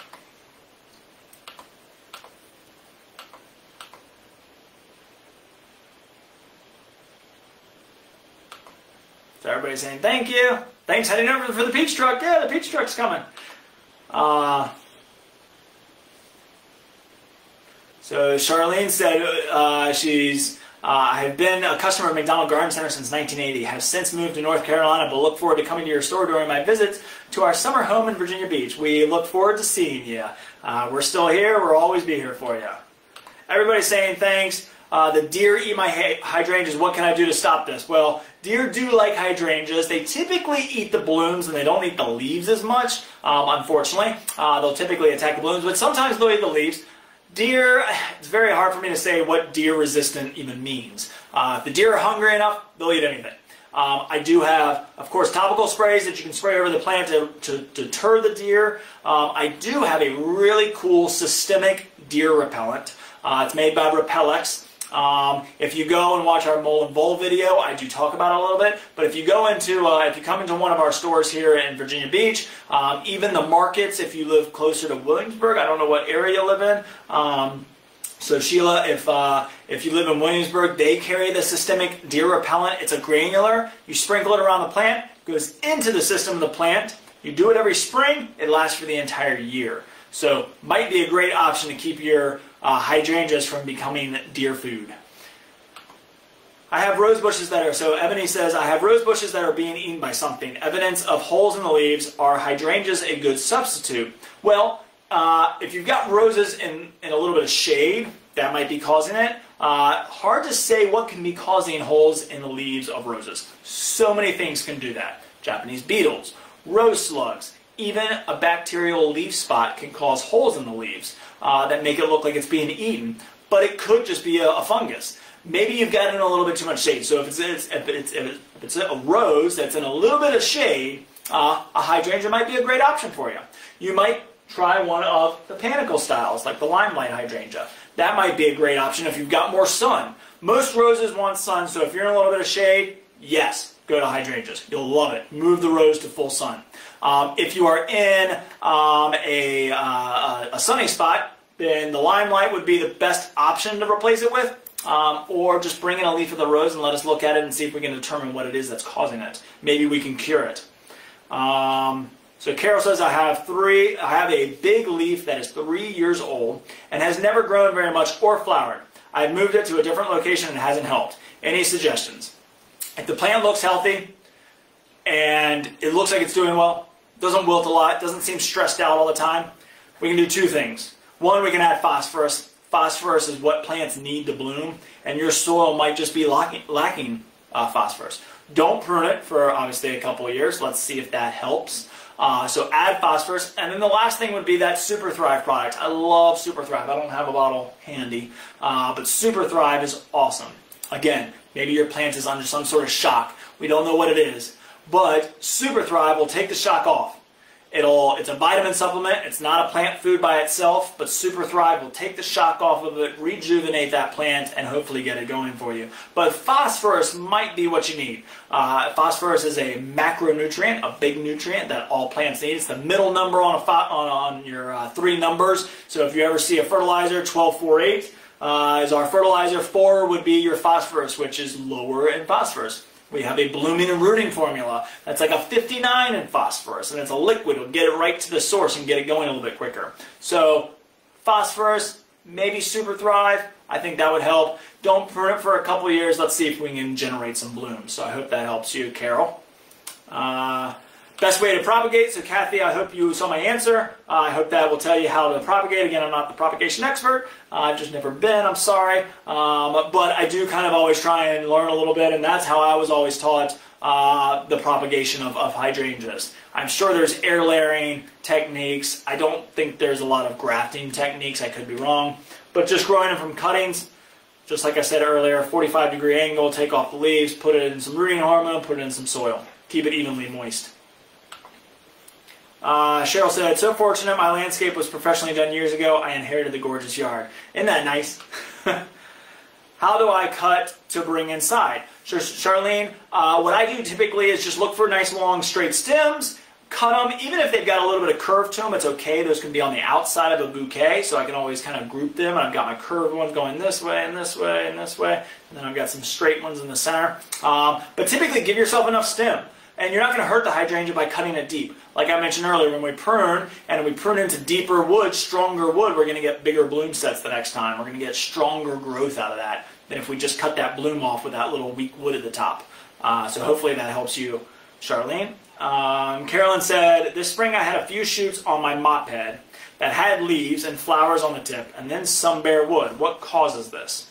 So I had a few shoots on my mop head that had leaves and flowers on the tip and then some bare wood. Oh, okay. So yeah, that is common, um, especially as you get an older hydrangea. Uh, you'll have some older wood that the leaves won't come out of. So that, what you're saying there is you've got some bare sections of the stem. That's pretty normal. Typically, you're not going to see it because your bush is going to be so nice and full. If you are seeing it, then I would recommend as soon as your blooms have finished this year, so this, you know, in the next two or three or four weeks, uh, as soon as those blooms start to fade on you or you're out there kind of taking some in and you're ready to prune it, now's the time in the next, you know, somewhere six to eight weeks, we want to get our hydrangeas pruned. Um, go ahead and give it a nice good prune at that point. Give it a little bit of plant food. Make sure not to do it during that stressed out time. Uh, and Carolyn, that should take care of some of those uh, old pieces of wood that aren't generating leaves. And so you've got this kind of little bloom on top of this little spindly piece, and that's from weak wood. So old, weak wood. And we want to encourage new growth this year so that next year you get that big bloom set on it. So pruning in the next couple weeks, giving a nice prune, getting some of that weaker wood out, just keeping the stronger wood, that might help you get a nice prettier hydrangea next year. Um, I have a row of, uh, so Anne says, I have a row of eastern facing pine trees and would like to plant a bunch of hydrangeas between them. Do you think they would grow well there? Morning sun, afternoon shade. And I don't know that there's a better situation for hydrangeas. They love being underneath pine trees. You're going to get blue. It's going to be an acidic soil for sure. Um, it's going to be hard to get them ever to be pink, uh, the ones that change colors. So if you want a pink, you might get a variety that stays pink and doesn't change. Um, but yes, they're going to grow and they're great, all varieties. The panicle style, oak leaf hydrangeas, old fashioned mop heads, all of them are going to love that condition. You couldn't have asked for a better condition. Azaleas, hydrangeas, camellias, love being underneath pine trees. You got a great situation there.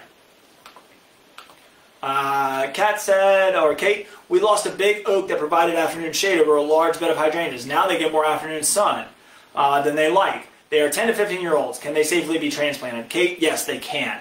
Um, so you can transplant them.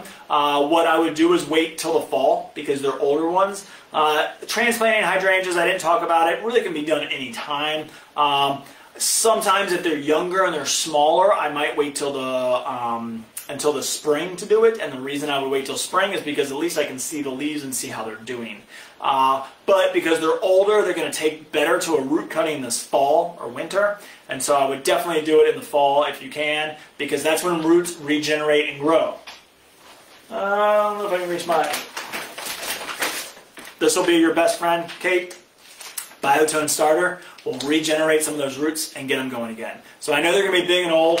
Give them a little bit of prune this summer. So if they're the mop head varieties, I think that's kind of what you said was 10 to 15 years old. So I think they're probably the big leaf varieties would be my guess. Give them a prune, a fairly good prune this summer um, to, to eliminate some of that top growth, some of its size because they're big. Um, prune them back probably by about half once the flowers begin to fade prune them back, give them a little bit of plant food, give them a little support then. And then in the fall, uh, typically around October, November, then go in, dig them out, transplant them. The most important thing is to keep the situation the same. So typically transplanting is a difficult subject. Maybe that would make a great seminar, is just transplanting in general. But you're going to get more of a bowl-shaped root ball rather than a container-grown root ball. So, you know, uh, a pot, you get, okay, that's how I need to dig the hole.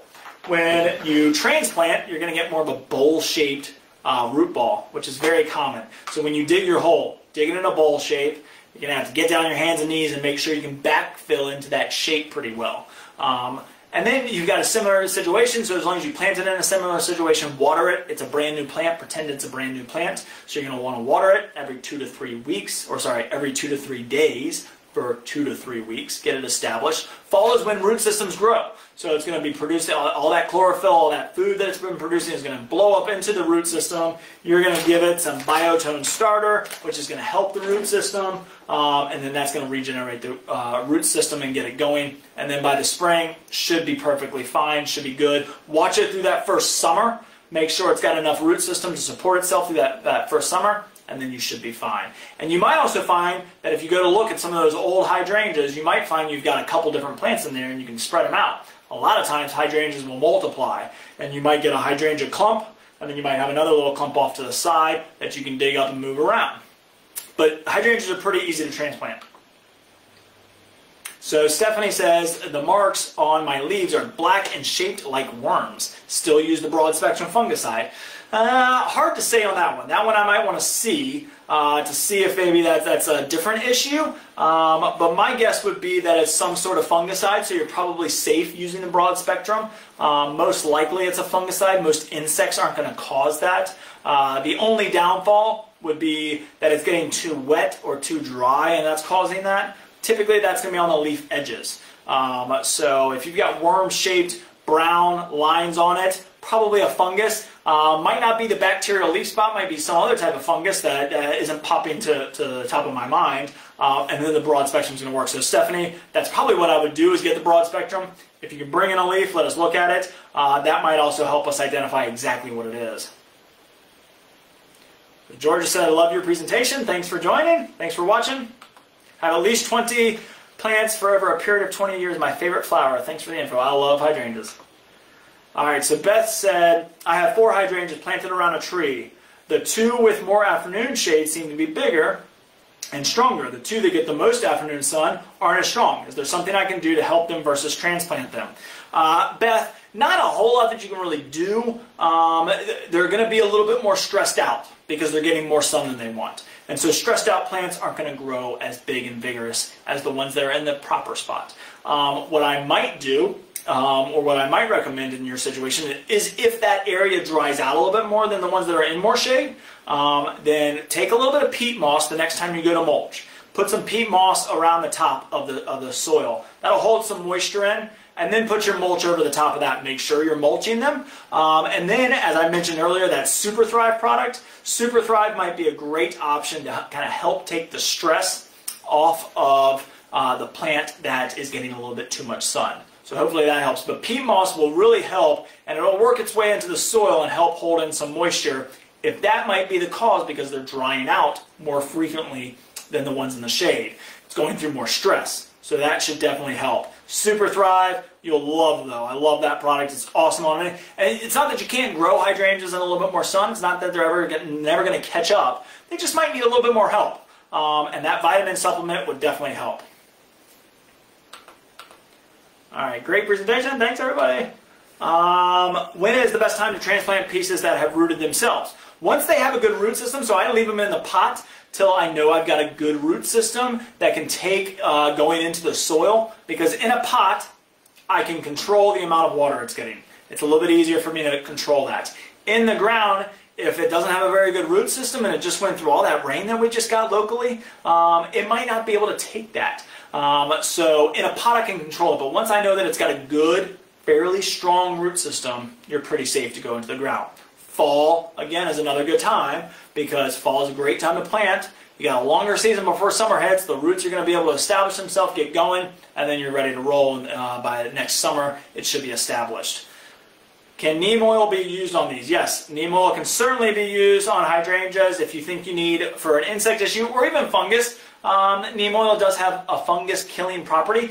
All neem oils work in the same way. They're suffocants. They're going to suffocate the insect or the fungus out. It's not going to allow oxygen into it, so you want to coat the plant. Uh, so what you want to be careful of is don't spray it when the temperatures are above 90 degrees and you have sun on the plant. Most hydrangeas should be in a little bit of shade anyways, so you shouldn't have to worry about it too, too much. Just watch your temperatures. Make sure you're not spraying it on an above 90 degree day. That's the safest thing you can do with neem oil. But neem oil, yes, you can definitely use. Many, uh, Cheryl says, many of mine are eight feet tall. It's okay not to prune. Cheryl, it certainly is. I mean, if you're okay with them that size, I mean, plants don't need to be pruned. I mean, we're the only ones that really prune them. In nature, they just grow and grow and grow.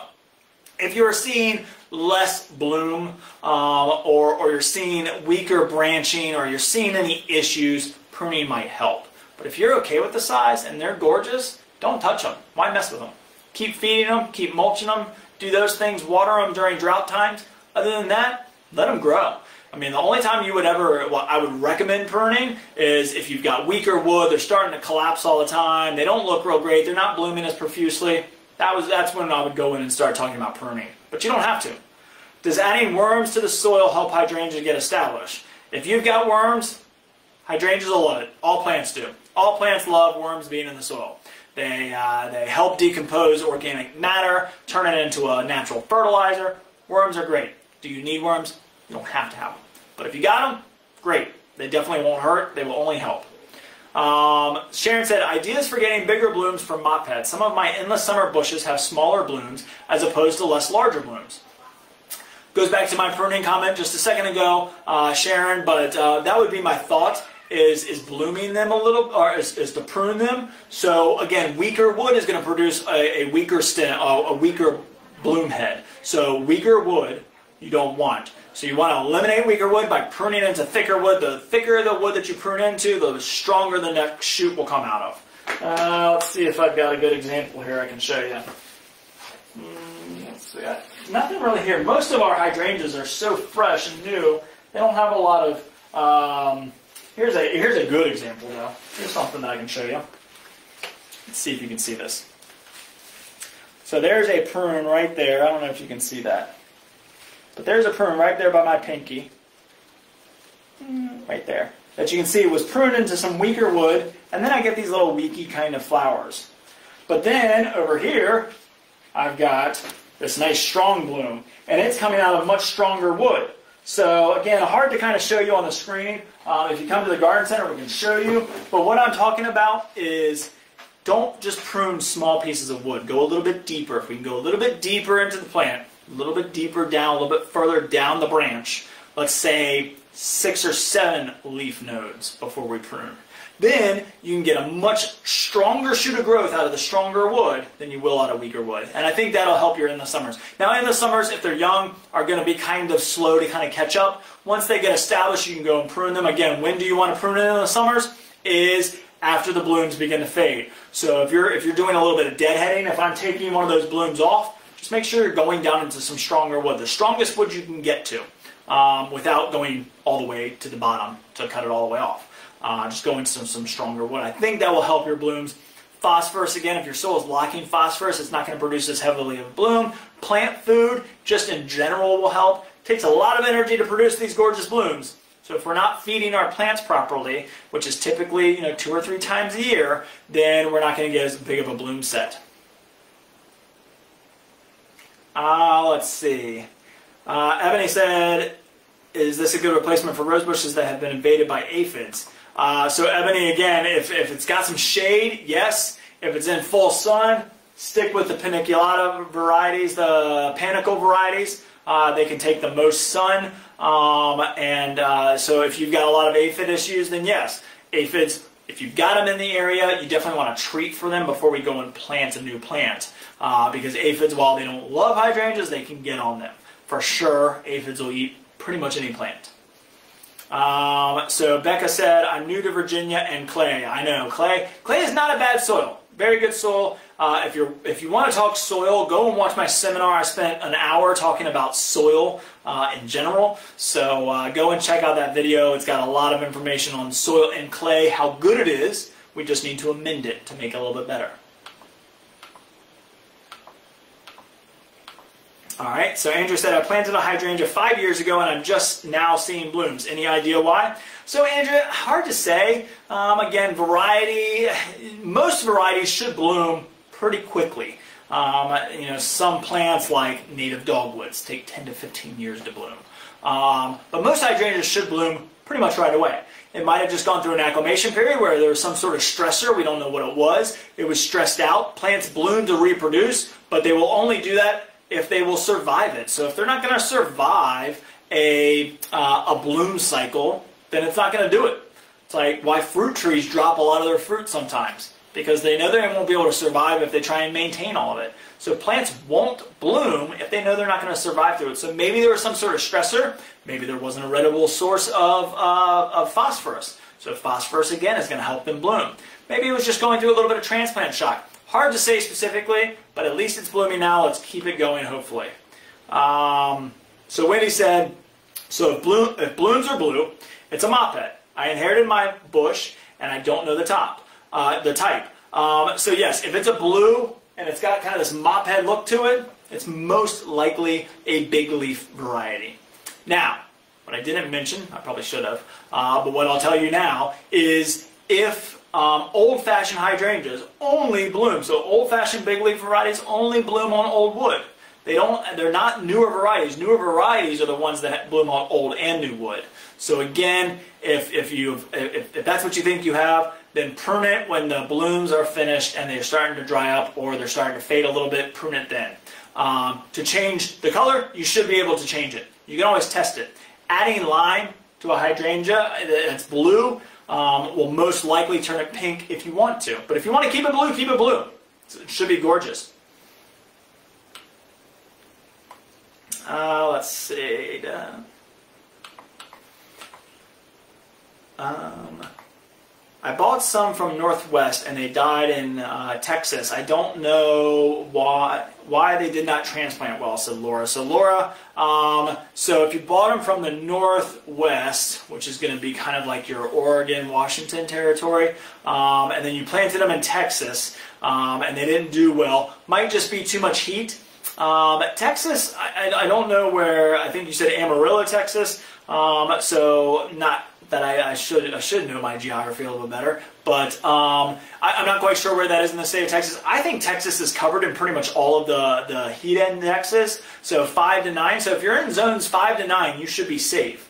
Um, if you're in ten, um, then it might just be too warm, and it stays too warm too long, um, and it can't handle it. Now Texas, of course, I think a lot of us think it's dry, it's arid, there's not a lot of moisture there. Um, so if that's an issue, that might be the cause. Uh, maybe you don't have a lot of shade on it. Um, but they grow great in Oregon and Washington um, in the in the Northwest. Um, but they, they might not grow as well in Texas. Again, we just have to amend our soil, make sure there's plenty of organic matter, it's holding moisture, it's in some shade, um, and hopefully that will help. Uh, and there are some varieties, again, always check. There might be a variety that only grows in zones 5 to 7, uh, 5 to 8, but almost everything that I look at says 5 to 9, um, maybe even 4 to 9. Ebony said it is in the shade. So if your rose is in the shade, put it in the sun, get yourself some hydrangeas for the shade. I think you got a great answer, Ebony. Um, I use, um, I've used deer and small animals called Deer Away. Work great, worth the price of animals, safe, won't hurt any of our friends. So Cheryl, yes, uh, lots of deer repellents that are very safe and easy to use. Um, and then, of course, I've got that systemic one that is great, safe for the plant too. It's all organic. It's actually capsaicin. Um, so it's just hot peppers. Uh, so everybody's saying thank you. This is awesome. I'm enjoying my hydrangeas. My hydrangeas tend to come uh, back over the winter. I live in Minnesota, or I think that's what Minnesota am in, or the mountains. This year, I put three overripe bananas around where they were planted. I let them. I left them alone. Came back uh, later. I would have thought maybe years. I dug them out, thinking. Let's see what else this says. Uh, I think we did. Any suggestions? Uh, Dorothy, hard to tell what would happen there. Um, so if they're, if they're coming back um, over the winter, that means your winters are warming up a little bit quicker um, than, than we do. Um, and, and sometimes that'll happen. We'll get some warm spells. You'll start to see the leaf buds starting to pop back out. Um, and so sometimes that can hurt a hydrangea is if it leafed out completely and then we got a really, really cold snap and it froze all those new leaf buds. Most hydrangeas should kick back out of that. But sometimes I've seen them not come back. And that can happen, unfortunately. That's just Mother Nature. You know, all of a sudden it thought it was spring, all the leaves started to emerge, and then we got another week of cold weather. Um, that can severely hurt a hydrangea for sure, sometimes even kill it. So maybe that's it. I doubt it was the bananas. I don't know if the bananas, uh, that's just potassium, shouldn't have hurt them. Um, so I doubt that could have caused it. Uh, so I think you're okay there. Cheryl said, This is fabulous, great, I'm glad. Uh, love to have you present a show on gardenias. Great option. Gardenias are, are a fun one to talk about as well. I could probably talk about that for a long time. Uh, Emily said, best to plant in organic soil. Yes, always use organic soil. It's a great option. Just amend your soil with it. In a container, potting soil, in the ground, organic matter, which is compost, organic compost, your soil, and perlite. A third of each. Ebony said, check out the soil builder. Yes, check that out. You'll love it. Uh, we, so Doug says we have a very old hydrangea that was transplanted several years ago. It bloomed a couple of years, and now we've just been getting healthy looking green leaves and no blooms. So Doug, um, again, make sure you're not pruning it at the improper time. If it's an old hydrangea, you said it's an old hydrangea, it might only bloom on old wood, which means all the growth that you get this year is what it's going to bloom on next year. So don't prune it too late, because you'll be pruning off your blooms. So prune it now. If you don't have any blooms and you want to prune it and you need to prune it, prune it now. You don't have any blooms on it anyways. Let all that new growth come back out on it, and then next year you should get more blooms. If you're pruning it at the wrong time. If you weren't, again, kind of goes back to my comments from earlier. Maybe you're lacking some phosphorus, so maybe we need to add some more phosphorus to help set those blooms. Plants need phosphorus to bloom. So let's see if maybe that's it could be going through a little bit of shock, and we don't know what the shock is. You said it was transplanted, so maybe it's a little bit of transplant shock, although you said several years ago, so I would have thought it would have kicked out of that by now. Super Thrive is a very friendly uh, thing to have around. I always have a little bottle of it in my garage. It goes a long way. You can always give it a little bit of Super Thrive, just kind of takes the shock off of plants. That might help. Phosphorus, a little bit of Super Thrive maybe. Make sure to mulch it, prune it at the right time. I think those will get you blooming again. Um, I'm told I can't plant hydrangeas near my walnut tree. Is that true? If it's a black walnut, for sure. Other walnut trees, you should be fine. Black walnuts, most, I don't think there's anything that really grows underneath black walnut trees. So I don't know what type of walnut tree you have. If it's just a regular walnut tree, should be fine. Black walnuts, nothing grows under black walnuts. So no, you won't be able to grow hydrangeas there, sorry. Um, that's just a weird thing that black walnuts kind of like sterilize the soil around it. Marianne said, other than the obvious method of watching new growth for blooms, is there any way to tell if established plants at home were purchased are repeat blooming? Um, so Marianne, if you want to try and determine if it's a repeat bloomer, um, then if you prune it this winter and you get blooms this next summer, you'll know. If you don't want to do that, just enjoy your hydrangea. Um, what you can do is you can mark some um, old wood and you can prune it in the summer so you can just take a little bit of like tape or something, you know, a little tie, tie one of your branches, cut it, and then if that produces new growth and produces a bloom, then you know it's a repeat bloomer. Um, so that's kind of how you tell. Typically what I tell people is if your hydrangea comes out, puts a big bloom set, and then does another bloom set, it's a repeat bloomer. If it just comes out and produces a big bloom set and it never produces another bloom set after that, it's not a repeat bloomer. It's an old-fashioned mop head hydrangea. All right, so Wendy says, okay, so my hydrangea never puts out much growth at all on old wood, but it always puts out lots of new stems from the root that bloom profusely, huge blooms. That confuses me as a type of plant but it grows fine, so that's okay. When it, yep, if it grows fine, then that's okay. Old wood sometimes won't produce very good blooms. Um, a, a, lot of times you'll find dead wood in your hydrangeas too.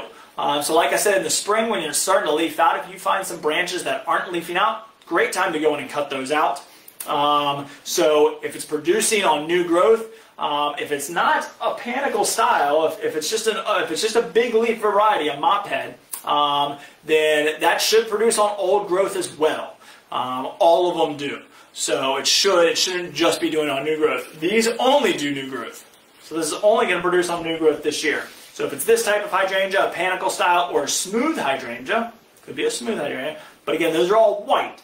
So uh, Wendy, if, if yours is pink or blue, then um, then it should be blooming on old wood, and if it's blooming on new wood, then you definitely have a repeat bloomer. Tracy says, I have a Mexican sunflower and leaves are always messed up. I have tried everything, Central Florida.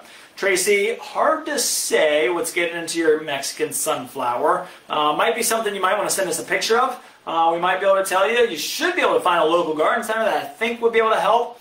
Um, I would say since it's a sunflower, uh, try and find, if you can, um, uh, the Bee Safe 3-in-1. Sunflowers, obviously the bees love them. Um, and they're in there getting all the pollen, pollinating it. Um, so we don't want to hurt the bees. So you might use the Bee Safe 3-in-1, and what that is is uh, fungicide, and insecticide, and a miticide, or neem oil. Neem oil would be a good option um, because we don't know what it is that's, that's, that's causing it. Could be a fungus. Fungus sometimes cause holes in the leaves of plants. So do insects. But at least neem oil will give you a chance of attacking both of them, whether it's a fungus or an insect. Uh, TC said, I think I have Bloomstruck, red stems, and mop head, but it's doing well in half sun, half shade. Should I move it to where I only get morning, five hours of sun, or side of the house that gets afternoon, six hours of sun? Not sure if this is a shade hydrangea. Um, say if it's Bloomstruck, it does love shade. Um, and if it does, if it's doing well, it says it's doing well, half sun, half shade. I wouldn't move it unless you wanted to really move it. And if you do want to move it, I don't know that I would go to the spot that has the six hours of sun in the afternoon. That sounds like it's a little intense. If you want to grow a hydrangea in that space, this would be the one, the panicle style. So looking for a limelight, uh, maybe come in and, and try this flame. Uh, any of those panicle styles are going to be your best, or maybe even an oak leaf that you can try in that area if you wanted to. Oh, I said there. Uh, Marianne said, would love to also see camellias and azaleas. That would be a gorgeous uh, place underneath your, I think you were the one that mentioned the pine trees. Um, uh, or maybe you were talking about uh, uh, just a seminar on azaleas and camellias. We could do those as well. Uh, but Marianne, if you were the one that had the pine trees, um, then camellias, azaleas, hydrangeas, all would be very, very happy in that situation.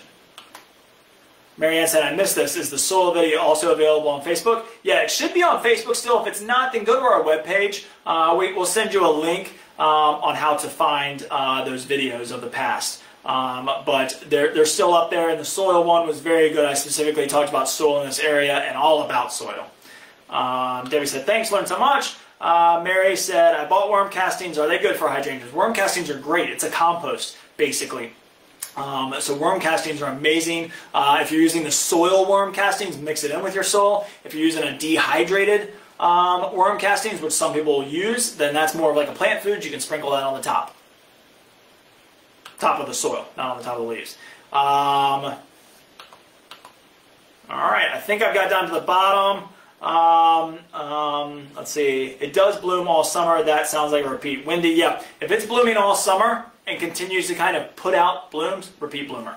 If it just does one big bloom and then it's kind of fizzles and really doesn't do much after that, it's just your old-fashioned, uh, just once a bloom uh, hydrangea. So, all right, I think I've got to the end of the questions. I know I missed a bunch at the beginning, so I'll go back and see if uh, see if there's anything there at the beginning that I need to uh, answer. So I'll answer those questions. If you didn't get your reply, then I will be answering those questions very shortly. I'm going to take a break, and then I'll get to your questions. Uh, thanks again for joining, everybody. Uh, I knew this was going to be a great class. Hydrangeas are a tricky one, but pretty simple. I hope I simplified it to some degree. There is one specific time that you can always prune hydrangeas, um, and that's when the, the, the, blooms begin to fade. Uh, we can change the pH. You can have fun with it. They love to be in the shade. They're a great shade garden plants, but also some that can grow in full sun. Lots and lots of different types. So much fun. If you don't have a hydrangea, come in and get one. Um, if you if you do have hydrangeas, hopefully now you know how to care and maintain for them a little bit better. Hope you learned a lot. Y'all have a great day, and I will see you around.